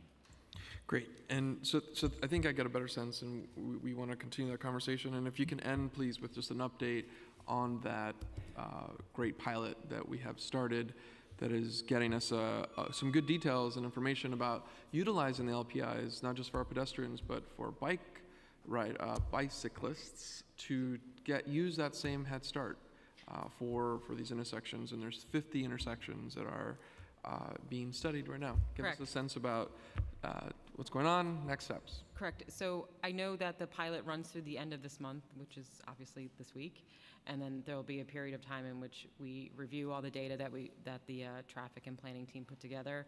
And uh, I don't have like those numbers at my fingertips right now, um, but I think uh, everything indicates that things went well. But uh, I haven't gotten kind of an overall summary of how the whole entire six months went. Um, I don't have a timeline for when that would be done, but I'm assuming they've been gathering data this whole time. Just to be uh, tying a ribbon on that soon. Let's set up a follow-up meeting and, and- Absolutely. and get crunching Absolutely. together. Thank you. I you. appreciate that. Member, I would like to go back to a few of the questions. Uh, Can you please read those, uh, altern- the suspend alternative side parking day that we have so far? Chairman, you'd like me to reread the list? Sure. New Year's Day, Martin Luther King Jr. Day, uh, Lincoln's birthday, Ash Wednesday, Asian Lunar New Year, Washington's birthday, Purim, Holy Thursday, Good Friday, Passover, Holy Thursday, Good Friday, Passover, Solemnity of Ascension, Shavuot, Eid al-Fitr, uh, Memorial Day, Independence Day, the Feast of Assumption, Eid al-Adha, Labor Day, Rosh Hashanah, Yom Kippur, Sukkoth, Shemini Atzeret, Simchas Torah, Columbus Day, All Saints Day, Diwali, Election Day, Veterans Day, Thanksgiving Day, the Immaculate Conception, and Christmas Day. Is that true that the day after Christmas is one of those days that uh, people get more tickets? The day after, I have no idea. Okay, I think that let's see how we can look at those numbers because what I heard, especially someone that is Catholic and follow the Christmas tradition, I heard in my communities that the day after Christmas is like a day for us. That's when the day when we definitely spend most of the time celebrating with our families. But I don't want to, you know, eh, eh, add a new bill. All I want to see if you can also look at those numbers because what I heard is a lot of people get confused because the day after Christmas, like for the Catholic, especially I'm, I can talk about the Latino piece. That's the day after where people is think that they that they still can eh, that the uh, parking are suspended. But if you can look at the number, it would be very good. Okay. I, I, I, I is gonna say that, no doubt that all those days that you, you mentioned are important day for our city. And I'm happy that we honor those days in different way. One of them is uh, suspending alternative side parking regulation. But I hope that you guys, as you go back and report to your boss and to the mayor's office, who you know will be communicated with this in DOT. Eh, the message here is loud and clear. We are the council. We, you heard from different council members, not only the Asian and the Latino, but other brothers and sisters say we should also suspend alternative side parking regulation on the Lunar New Year's and on the Three King Day. So again, I hope that we will continue working conversation with you guys, DOT and sanitation, and see how we can make progress because those two days are very important for both community.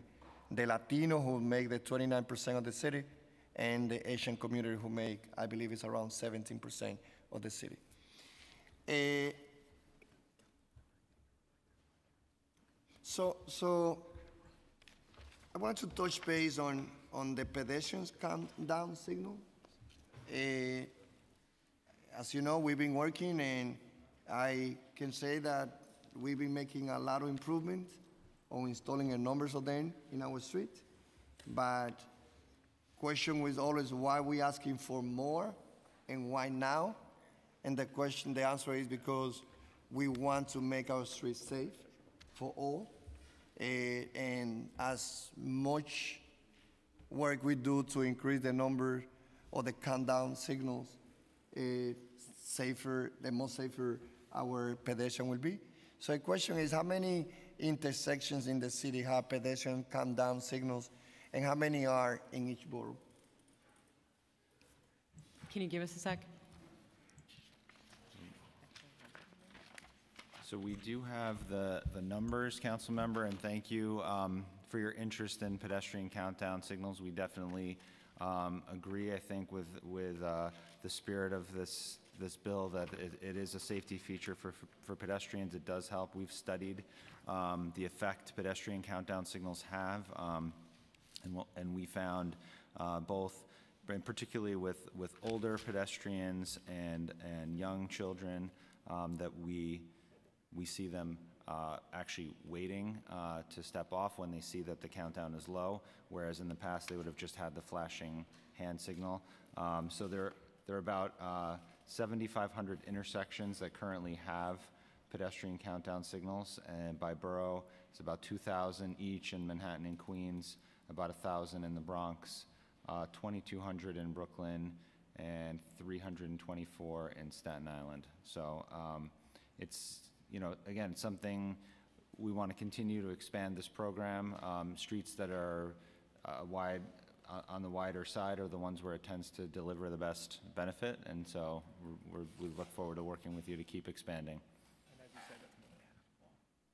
Yeah, that's, uh, more than half of, of intersections have this already currently. And what is, what are our projections on how many should we have, should, do we need? And of course, it's not as many as possible, but on real number.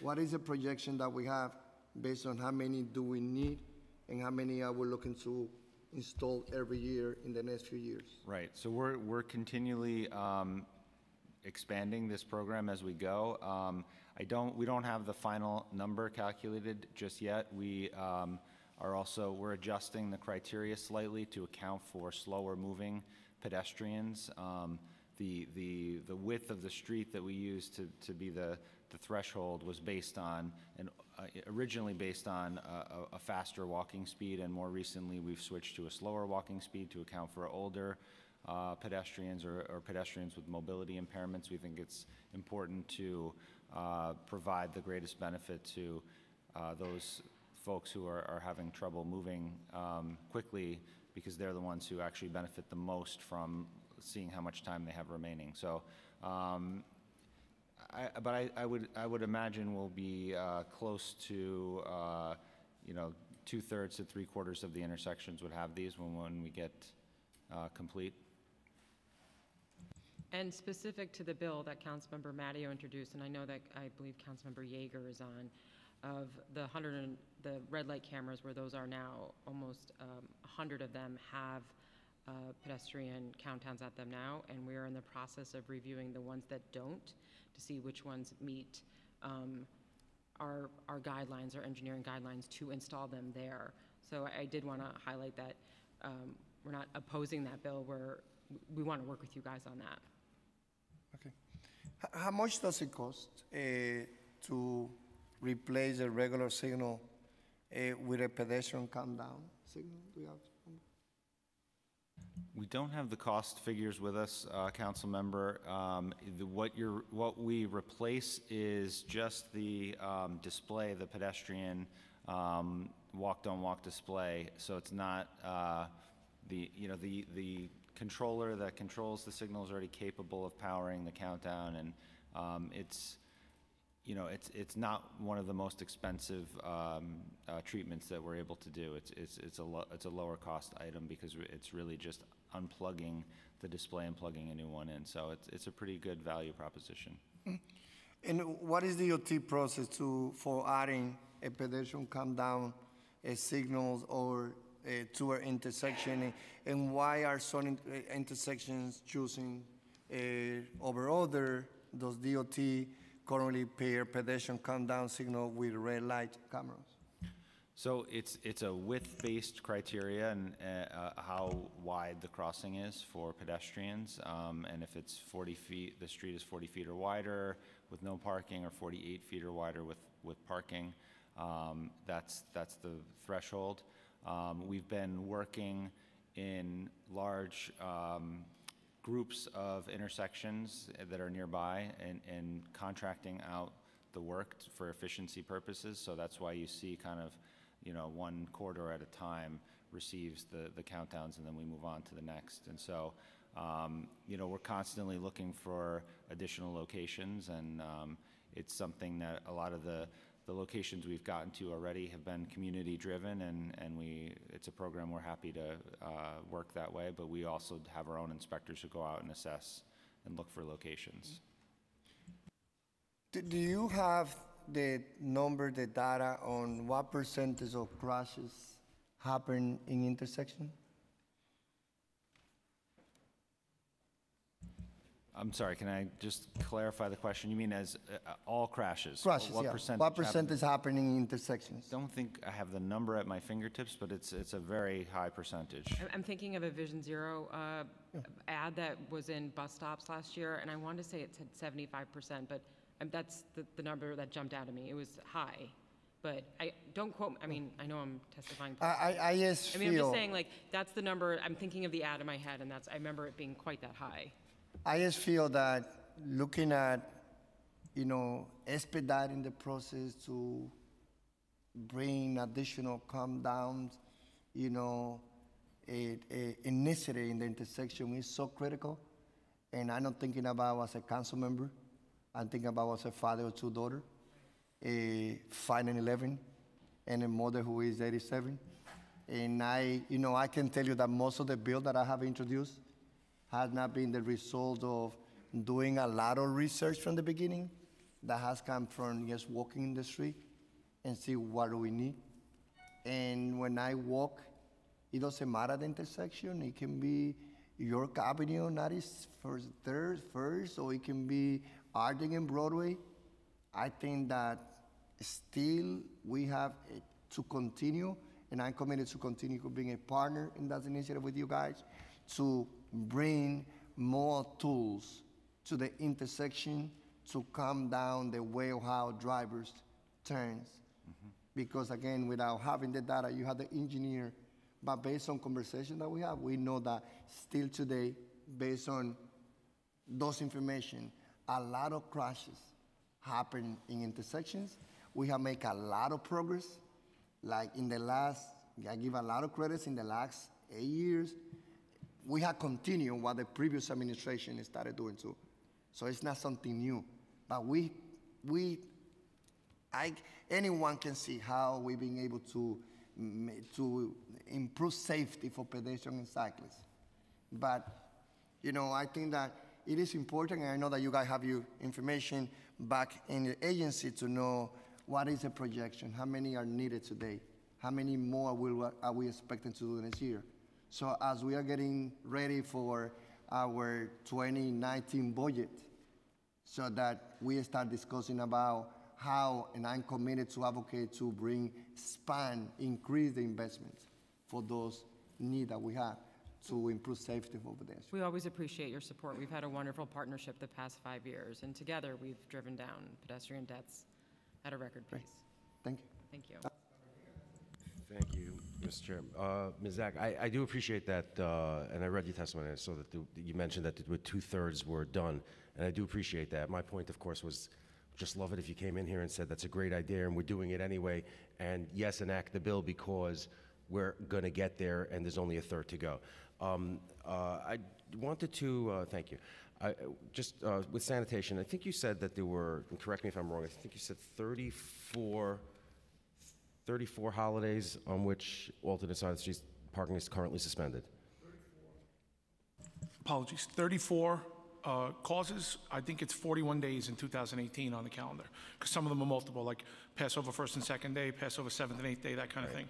The section 19-163 of the administrative code uh, provides, by my count, 28 days, which are religious or, or cultural days, and then there are additional days which are legal holidays in which your guys are not working, frankly, right?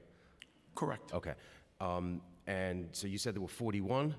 I- I believe it's 41 for 2018. And then when, uh, there are times when some of the holidays that are in section 19-163 of the administrative code actually fall out on legal holidays on which alternate side of the street parking is suspended. For example, Passover and might fall out for, on uh, Good Friday.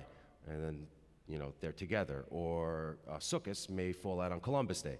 Um, So alternate is being suspended as well on those days. In addition, uh, to, is alternate side of streets parking suspended on Saturdays in the city?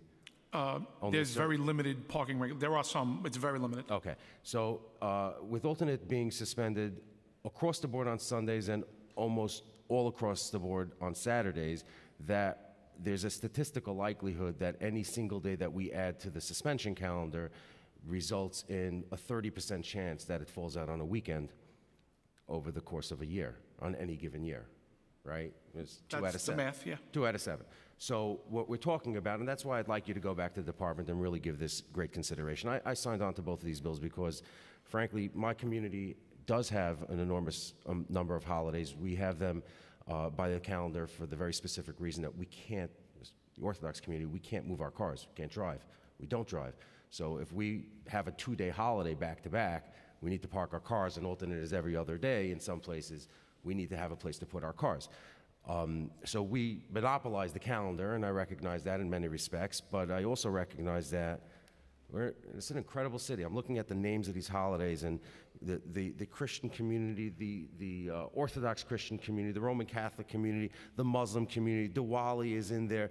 Of course, the Jewish holidays. You have Holy Thursday, Good Friday, Ascension Thursday. All of these holidays representing the cultures of our city. And now two new, not new, but two groups are coming before their legislature and saying, we're part of our city too. Lunar New Year, um, Three Kings Day, they deserve it. They earned it. They're part of our city. And so I would like you very much to take that back to the administration and, and, and come back to the council and say, you know, we can, we can afford these two more days. The city is not going to fall apart for two more days. And uh, I'd appreciate that. Thank you very much. Thank you. So with that, I hope that you, you know we will continue conversation, and I know I know, guy, you know, you have to do your job, and and we have to continue working in with you as an agency, but also with the administration. Uh, again, Latinos and Asian, we are not begging.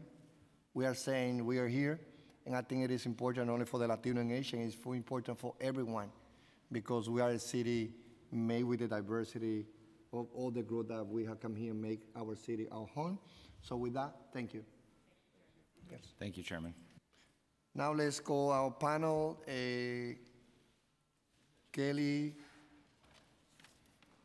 Hesh from on behalf of the Ali Taylor, Sandy McCallum, Bexy Sargison, and Chelsea Brown Rich.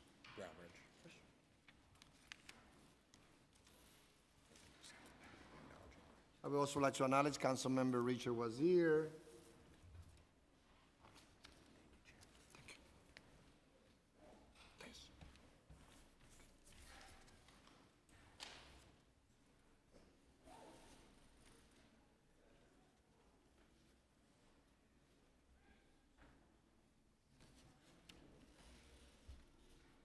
Then we have Zach Miller. eh, Okay, let's, Zach, let's wait for the next panel. Okay, thanks. You may begin.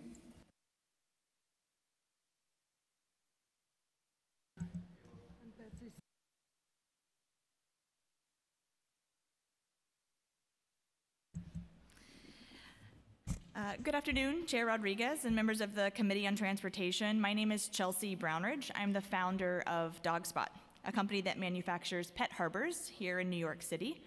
Out of respect for time, I submitted my entire testimony for public record, but I'll just speak simply to the most essential points here today. I'm here to call on the council to pass Introduction 886. My company DogSpot was born in a garage in Bedford Stuyvesant, Brooklyn in 2014 as a solution for people who need a place for their pet while they go to the store. A very simple concept. But the reality is is that there's a law out there now where stores can't allow dogs inside. About 60% of our stores are legally prohibited from allowing pets inside. And there's no solution out there. And our pets are now being tied up, uh, left outside, and businesses are losing business as a result because they're turning away customers that have pets.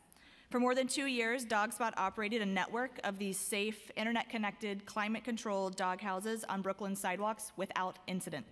From the beginning, we developed a partnership with the city. We were awarded grant money from the New York City Economic Development Corporation and the Brooklyn Public Library. We were given an invitation from City Hall to represent our technology on the world stage at the Smart City Expo in Barcelona. Then, unexpectedly, the Department of Transportation ordered that our dog houses need to be removed. Receiving this cease and desist order from the Department of Transportation was a shocking and enormously disappointing event for our small company. We were being forced to choose between removing our houses from the members that we were serving and the businesses, or fighting in court for the city that we love and wanted to continue to grow our business in. So we opted to remove our houses from public sidewalks, not for a lack of belief in our service and the benefit that it brings to the city, but in favor of collaboration with the city. So, in short order, we were forced to stop serving our customers. Luckily, we were fortunate enough to be quickly met with enthusiastic invitations from many other municipalities, including Washington, D.C., Baltimore, Orlando, Kansas City, Columbus, and dozens of others. I agree wholeheartedly with the presumed bias of the DOT's concern that pedestrians need to move freely. But it's a lazy argument that our houses are an impediment to sidewalk. They're less than three feet deep, and are, they add order to the sidewalks because now dogs are being tied up on sidewalks, and that's an impediment to people being able to move freely. This legislation will provide dogs and their guardians a safe and humane alternative to leaving dogs unattended and provides opportunities to support retail business owners that currently can't allow dogs inside. The bill will send a message to other entrepreneurs that will echo for years to come. When you take time to work with government, government can work with you as well. I strongly urge the Council to support Introduction 886. It supports New Yorkers and small businesses. I'd like to thank Councilmember Espinal for his leadership and Chair Rodriguez and the entire committee again for allowing me to speak, and I'm happy to answer any questions.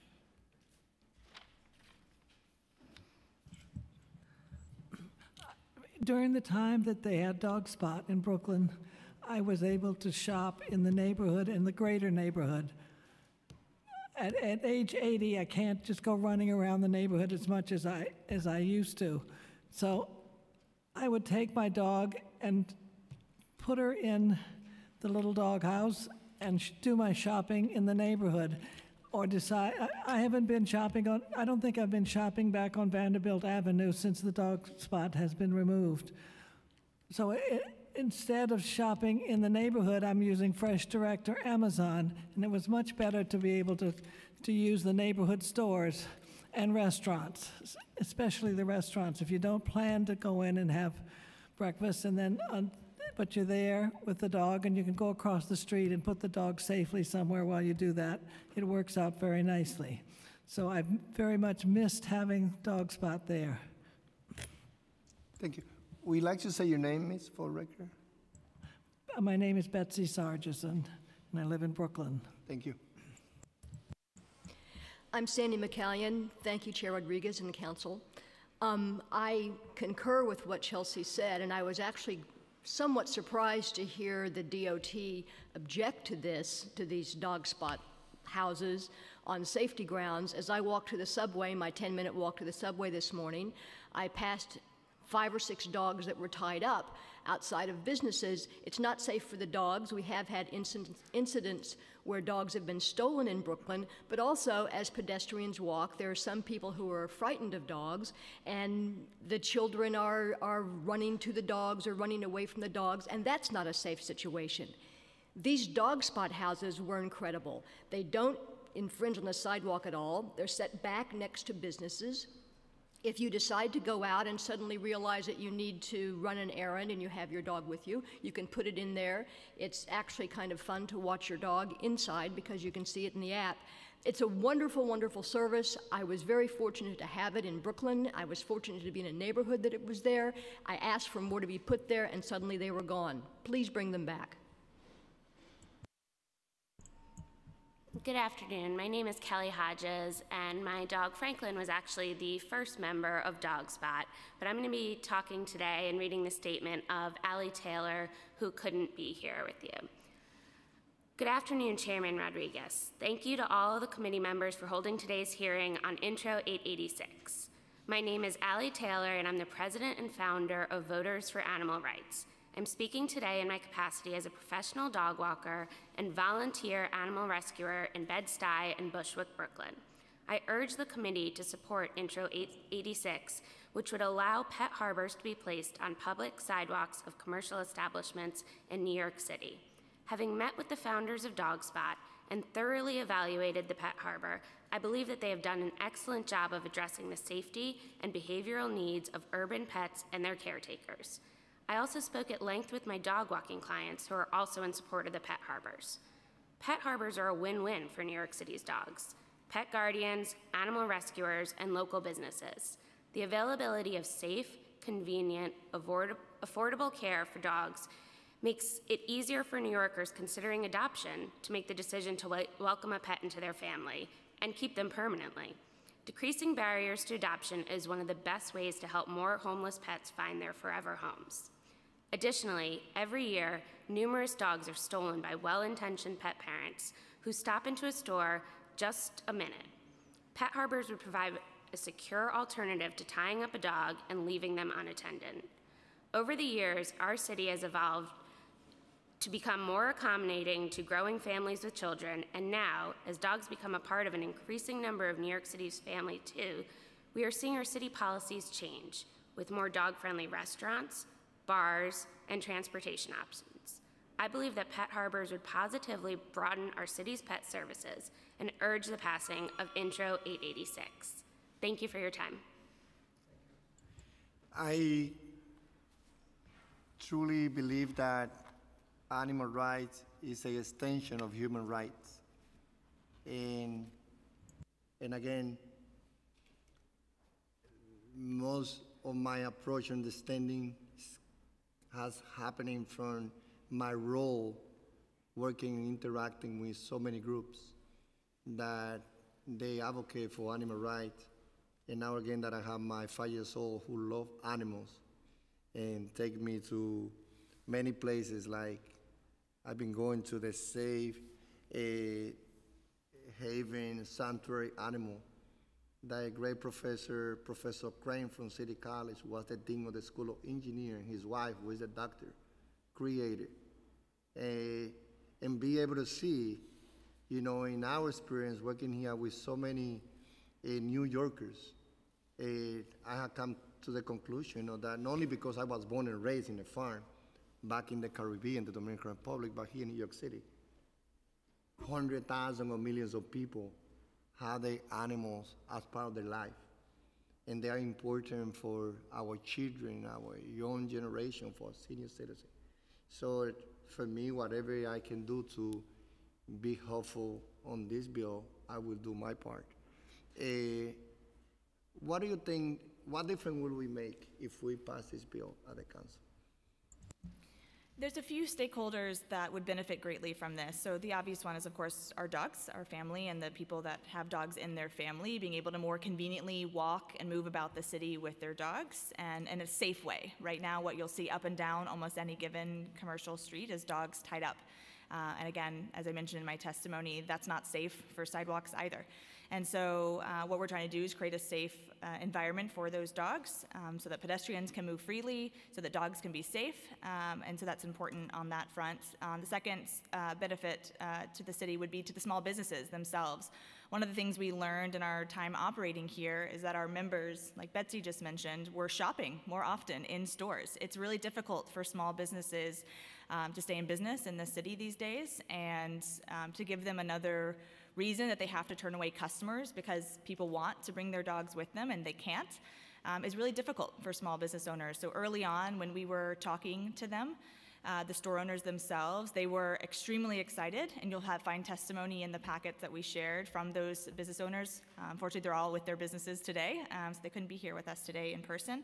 Um, but they were extremely enthusiastic to do whatever it took to get their their dog houses back. We continue to get uh, interest from store owners who want these in New York City because on a daily basis they're encountering people who want to come inside and shop with them, and they have to turn them away because they have a dog with them, and they're given no solution at all. So our technology is first of its kind and providing a solution for a problem that occurs every single day for New Yorkers who own dogs and also the store owners that are having to turn them away and losing business.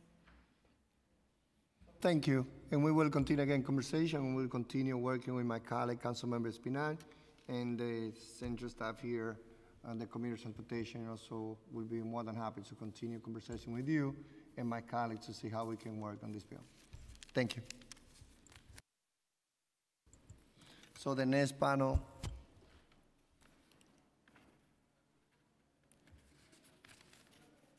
Saj, Taj Miller, Clyde, Vano, Bruce,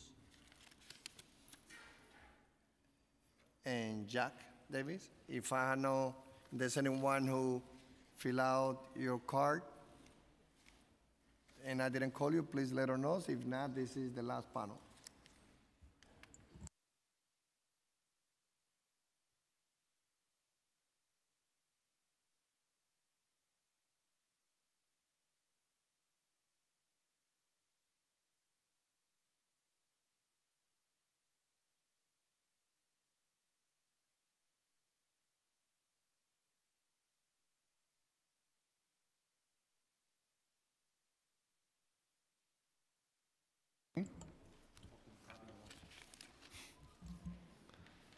Uh, Good afternoon. Uh, First, I'd like to thank this uh, Committee on uh, Transportation. Uh, I'd like to thank Chairman Rodriguez, and I thank my, uh, my council member, uh, I. Daneek Miller. My name is Clyde Vanel. I'm the New York State Assembly member for the 33rd Assembly District. I represent the areas of uh, Cambria Heights, Queens Village, St. Albans, Hollis, Bellerose, and Floral Park. I'm here in strong support of the Commercial Truck Abuse Act intros 1010, which increases fines for, uh, to uh, trucks from 400 to $800 respectively for the first and second violation, and intro 1011, uh, which decreases the parking times for commercial vehicles on the streets. I'm also here because I, we have a bill in the state uh, uh, that I sponsored, Bill um, uh, A8363, which also increases the fines. This is simply about environmental justice, wealth protection, the quiet enjoyment of property, and the interference of parking to get uh, to work, school, and the hospital. Uh, Southeast Queens and Eastern, Eastern Queens sit at the feet of one of the busiest airports in the country, JFK. And we host uh, large import-export businesses that distribute food, materials, supplies to local businesses uh, and establishments uh, from around the world. Queens takes pride in the fact that we are able to have such a large impact on the economic growth of the, of the city. Unfortunately, hosting these businesses and the airport has put a strain on our communities. While commercial trucks have a place to pick up and drop off supplies they're delivering, there's no place for them to park.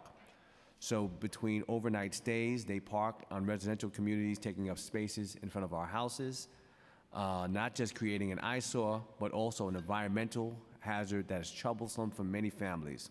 Southeast Queens is, de- is designated as an extreme transit desert uh, from the federal government, where it takes residents an hour and a half to get to Midtown Manhattan by public transportation. That, that's why family, that's why fam, many families rely on cars, and many families have multiple cars. Many of them have no other way to get, uh, get around to drop off their children from, uh, from school, to run errands, and to get to and fro work. Needless to say that this becomes more and more difficult when an 18-wheeler is parked in front of their homes, and truck drivers also leave their cars, uh, their trucks on overnight um, as they uh, sleep in their cars. This continues to be one of the major issues to many of our local offices and to community boards that receive complaints about, about these, uh, these trucks parked overnight. These intros will reduce this hazard, and if it becomes law, truck drivers will think twice before parking on residential streets, and the quality of life of our residents will be enhanced. Thank you. Thank you. Good afternoon. My name is Zach Miller, and I serve as Metro Region Vice Chair for the Trucking Association of New York. I want to thank Chairman Rodriguez and the members of the committee for the opportunity to testify you today. For over 85 years, the Trucking Association of New York, a nonprofit trade group, has represented the industry in New York, advocating for the industry at local, state, and federal levels. We provide educational programs to our members, which enhance their safety and maintenance efforts, and offer numerous councils and committees to meet the diverse needs of our membership. TANY comprises over 600 member companies from New York, Canada, and every border state.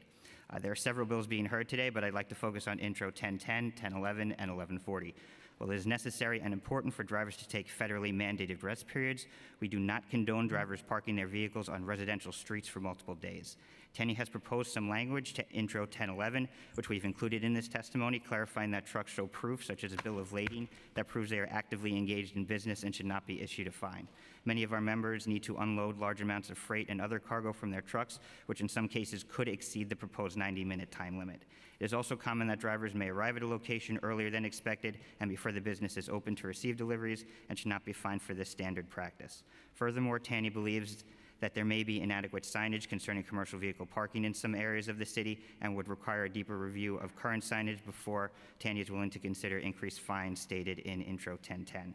Uh, with regard to Intro 1140, TANY has been supportive of the concept and practice of off-hour deliveries to the extent that customers can accept them. Many businesses do not have dedicated staff to accept deliveries at off hours. Recently, DOT Commissioner Polly Trottenberg pointed out that a supermarket on the Upper West Side is actually prohibited by their lease from receiving off hour deliveries. Intro 1140 recognizes that the City of New York is a large consumer, and requiring them to implement an off hour delivery program in city owned buildings sets an important example for other consumers. Uh, TANY also supports Intro 570 and tentatively supports Intro 867, which would review street widths, th- um, though we would like further clarification on the intent of the bill and are happy to meet with Councilmember Adams to discuss further and are happy to meet with any council members to discuss any of these issues further. Thank you. Good afternoon. Thank you for convening this hearing. For the chance to testify, my name is Jack Davies. I'm the campaigns manager for Transportation Alternatives. I will note that my submitted testimony spells out our positions on the individual measures noticed today, but I will use my limited time to discuss parking generally. As we craft city policy governing on street parking, it's critical that we both appreciate the context the current rules were written in and be mindful of the environment we're formulating new policy in. The laws governing parking across the city were largely devised by power broker Robert Moses during an era of peak automobile production and use in the United States. As New York radically suburbanized in the 1950s, Moses and his city planning commission prioritized cars as the principal form of future transportation. As a result, the city deeded enormous amounts of public space to drivers for private car storage to meet the perceived increase in automobility and gave no consideration to the new demands that an evolving New York would place on safety, equity, and other transportation resources like the existing transit networks. Of course, 21st century New York looks wildly different than planners in the 1960s envisioned. New York's residential population density is almost 20% higher today than in 1960. The majority of New York City households don't own cars, and public transit remains the primary way most New Yorkers travel on a day to day basis. Yet car parking requirements set by Moses over 50 years ago and more in line with a mid-sized municipality than the most transit-rich city in the country still largely govern New York, and these antiquated policies are costing New Yorkers. The majority of New York City's space is being used inefficiently. Currently, 80% of New York's open space is filled by parked cars and congested traffic, a wildly unfair allocation of space in the city where the majority of citizens do not own a car and space is a precious commodity. On, str- on-street parking consumes 16,000 acres of public space. It's the equivalent of more than 16 central parks. Most of New York City streets are lined with cars, and as a matter of policy, we have accepted the idea that these cars should be afforded the opportunity in one of the priciest housing markets in the nation to live rent free, all, all the while rent increases for actual people. Thank you. Thank you. My name is Bruce Kraft. I live in Queens. The area bordered by Horace Harding Expressway, Grand Central Parkway Service Road, Union Turnpike to the city line on a Sunday morning at 10 a.m. This year, I found 58 tractor trailers. They were parked in front of people's homes, churches, schools, parks. They are waste haulers, car carriers. They park underneath highways at the Union Turnpike and Grand Central Parkway, which is dangerous. This continues all the time. Last year at this time, there were 30 parked. Now there's almost 60. They park overnight, they park by fire hydrants, they unhook their trailer, leave their trailer, take their truck. Saturday, tractor trailer was doing maintenance, had the whole front end of the truck off and was doing maintenance. Sunday, 73rd Avenue, tractor trailer had another truck block the street while for the next three hours they repaired it. This is in front of a public park. You can go to the ball fields on 73rd Avenue and you will see waste haulers parked. People do not have places to park their cars in certain areas. Flushing, you go by there. Even if you Google the church, the Queensborough Community Church, and Google it, you will see what do you see? You will see a car carrier. This has gone on long enough. They park in where people cannot get a park when they come home at night to park their car because we don't live in an area where transportation is like in Manhattan. If you don't have a car, you don't live. And you have to now drive around while a tractor trailer is taking up three or four spots. Thank you. Thank you. To address those issues, ha- has any members of the truck association, eh, or you as an institution being able to work with any truck drivers who is part of the truck association to address those issues that you heard from, important for New Yorkers, With- especially for the resident of Queens? With the specific drivers or the company? Well, those cases, like, as you heard, like, this testimony right now, what is happening in Queens, in that part, like a truck, a driver who park his truck in that particular location and do the maintenance or leave it there for hours and hours, like, are you as the institution that work with others members who has drivers affiliated, you know, with them, how do you work with your own membership to be sure that they also are responsible to the residents? Well, we have to get the word out to them that this is what's happening and it's unacceptable. What is it? We have to get the word out to them, to membership, that it's happening and unacceptable. I didn't know about any of the maintenance things. And um, I want to say maybe a month, maybe two months ago, we met with Council Member Miller's office, and he was the one who brought it to our attention that a lot of the problems in your district is with um, more uh, truck drivers who actually are more local residents. We were, we were under the impression that a lot of this was from out of state. Uh, it turns out a lot is from local, and what they'll do is they'll come, I think the council member said on Thursday or Friday, they'll come with the truck, and then they'll come with either their spouse or a friend in a car. They'll drop off the truck for the weekend and take the car back to where they live, which is all local. So this just got, was brought to our attention, I want to say, a month, two months ago. So we're trying to get the word out that this is unacceptable and you can't be doing this.